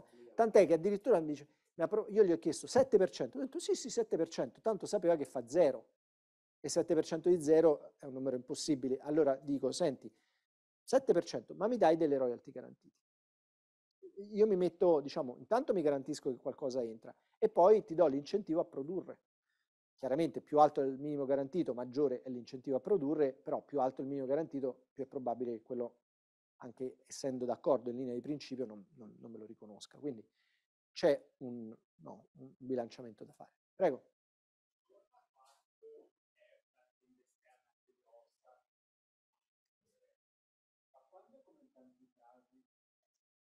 È una startup che all'inizio magari ha pochi fondi, sta nascendo. Chiedere questo minimo garantito, che magari sono 3, 5, 7, 10 mila l'anno, quanto è fair? Ma allora, diciamo, non la metterei mai sul piano della fairness perché, diciamo, dal mio punto di vista è fair che mi paghi, no? E da quel punto di vista è chiaro che se io voglio incentivare, potrebbe valere la stessa cosa per una piccola e media impresa, no? Non una startup, è un imprenditore che ci crede sta investendo, io posso decidere di incentivarlo in qualche modo dicendo vabbè facciamo così, per i primi due anni non mi paghi nulla, poi mi paghi un piccolo minimo garantito, poi cresce. Cioè la bellezza di questi meccanismi è che io li posso modulare in maniera tale da allineare gli interessi nel tempo, perché qua parliamo di, guardate, cioè questo è un caso teorico, infatti lo fanno gli economisti, non è un caso reale, è un caso teorico perché questo punto potrebbe stare anche qua giù. No? La, la, la, vita residua del brevetto potrebbe restringersi, quindi l'azienda potrebbe dirmi guarda io ci metto tanto ad arrivare sul, brevetto, sul mercato, ma poi il brevetto ha quattro anni di vita residua, quindi io in quei quattro anni devo recuperare tutto quanto quello che c'è da recuperare, non ti posso pagare una royalty grossa. Come? Con le farma, tant'è che però almeno i farma hanno i certificati supplementari no? di protezione. Si, si può estendere di cinque anni per recuperare un pochino, ma in tutti gli altri settori non è così. No? E quindi c'è un tema di, eh, più che di, semplicemente di fairness, direi di allineamento degli interessi, per cui se sto licenziando a General Electric probabilmente non mi faccio nessuno scrupolo, se è una piccola e media impresa del territorio posso avere un occhio di riguardo, se è una startup magari posso chiedergli un pezzo di capitale sociale. No? Oggi si può fare il work for equity e gli dico, senti, non c'hai nulla, dammi un pezzetto di capitale. Vi ricordo che la, la, la, mia amica Katy Ku, che era la capa dell'OTL di, di Stanford, dell'Office of Technology Licensing, quando eh, venne creata eh, Google e venne dato in licenza il primo brevetto sul PageRank, eh, Google era una startup come tutti. Dice, non, posso, non abbiamo nulla, ti diamo un pezzetto di... No, e Katy Ku si prese un pezzetto di, di, di capitale di, di, Google, che alla quotazione valeva 336 milioni di dollari. Questo è quello che ha incassato No, e Katie Q aveva questo sorriso, diciamo, e, e così funziona. Noi, noi, in Italia non lo facciamo, lo facciamo ancora poco, però uno dei corrispettivi possibili è equity. Ti do magari non equity puro perché sennò è tutto il rischio che io mi tengo, però un po' di equity, un po' di royalty, un po' di equity, un po' di, fisso, di minimo garantito, eccetera. Cioè massima libertà. L'obiettivo è sempre quello di mantenere allineato il licenziatario a l'impegno che si è preso di completare lo sviluppo e arrivare sul mercato il prima possibile, quando lo aspetta ovviamente la vendita. Allora, è l'1.05 ci dobbiamo interrompere, voi avete il pranzo, io vado a fare lezione a Brescia. E vi lascio, ovviamente ci sono le slides che diciamo, sono minimamente intellegibili, eh, credo che poi possiate unire i puntini perché immagino che molte cose che abbiamo detto oggi risuonino con quello che avete sentito ieri e sentirete oggi pomeriggio. Va bene? Grazie mille. Grazie. Ah no,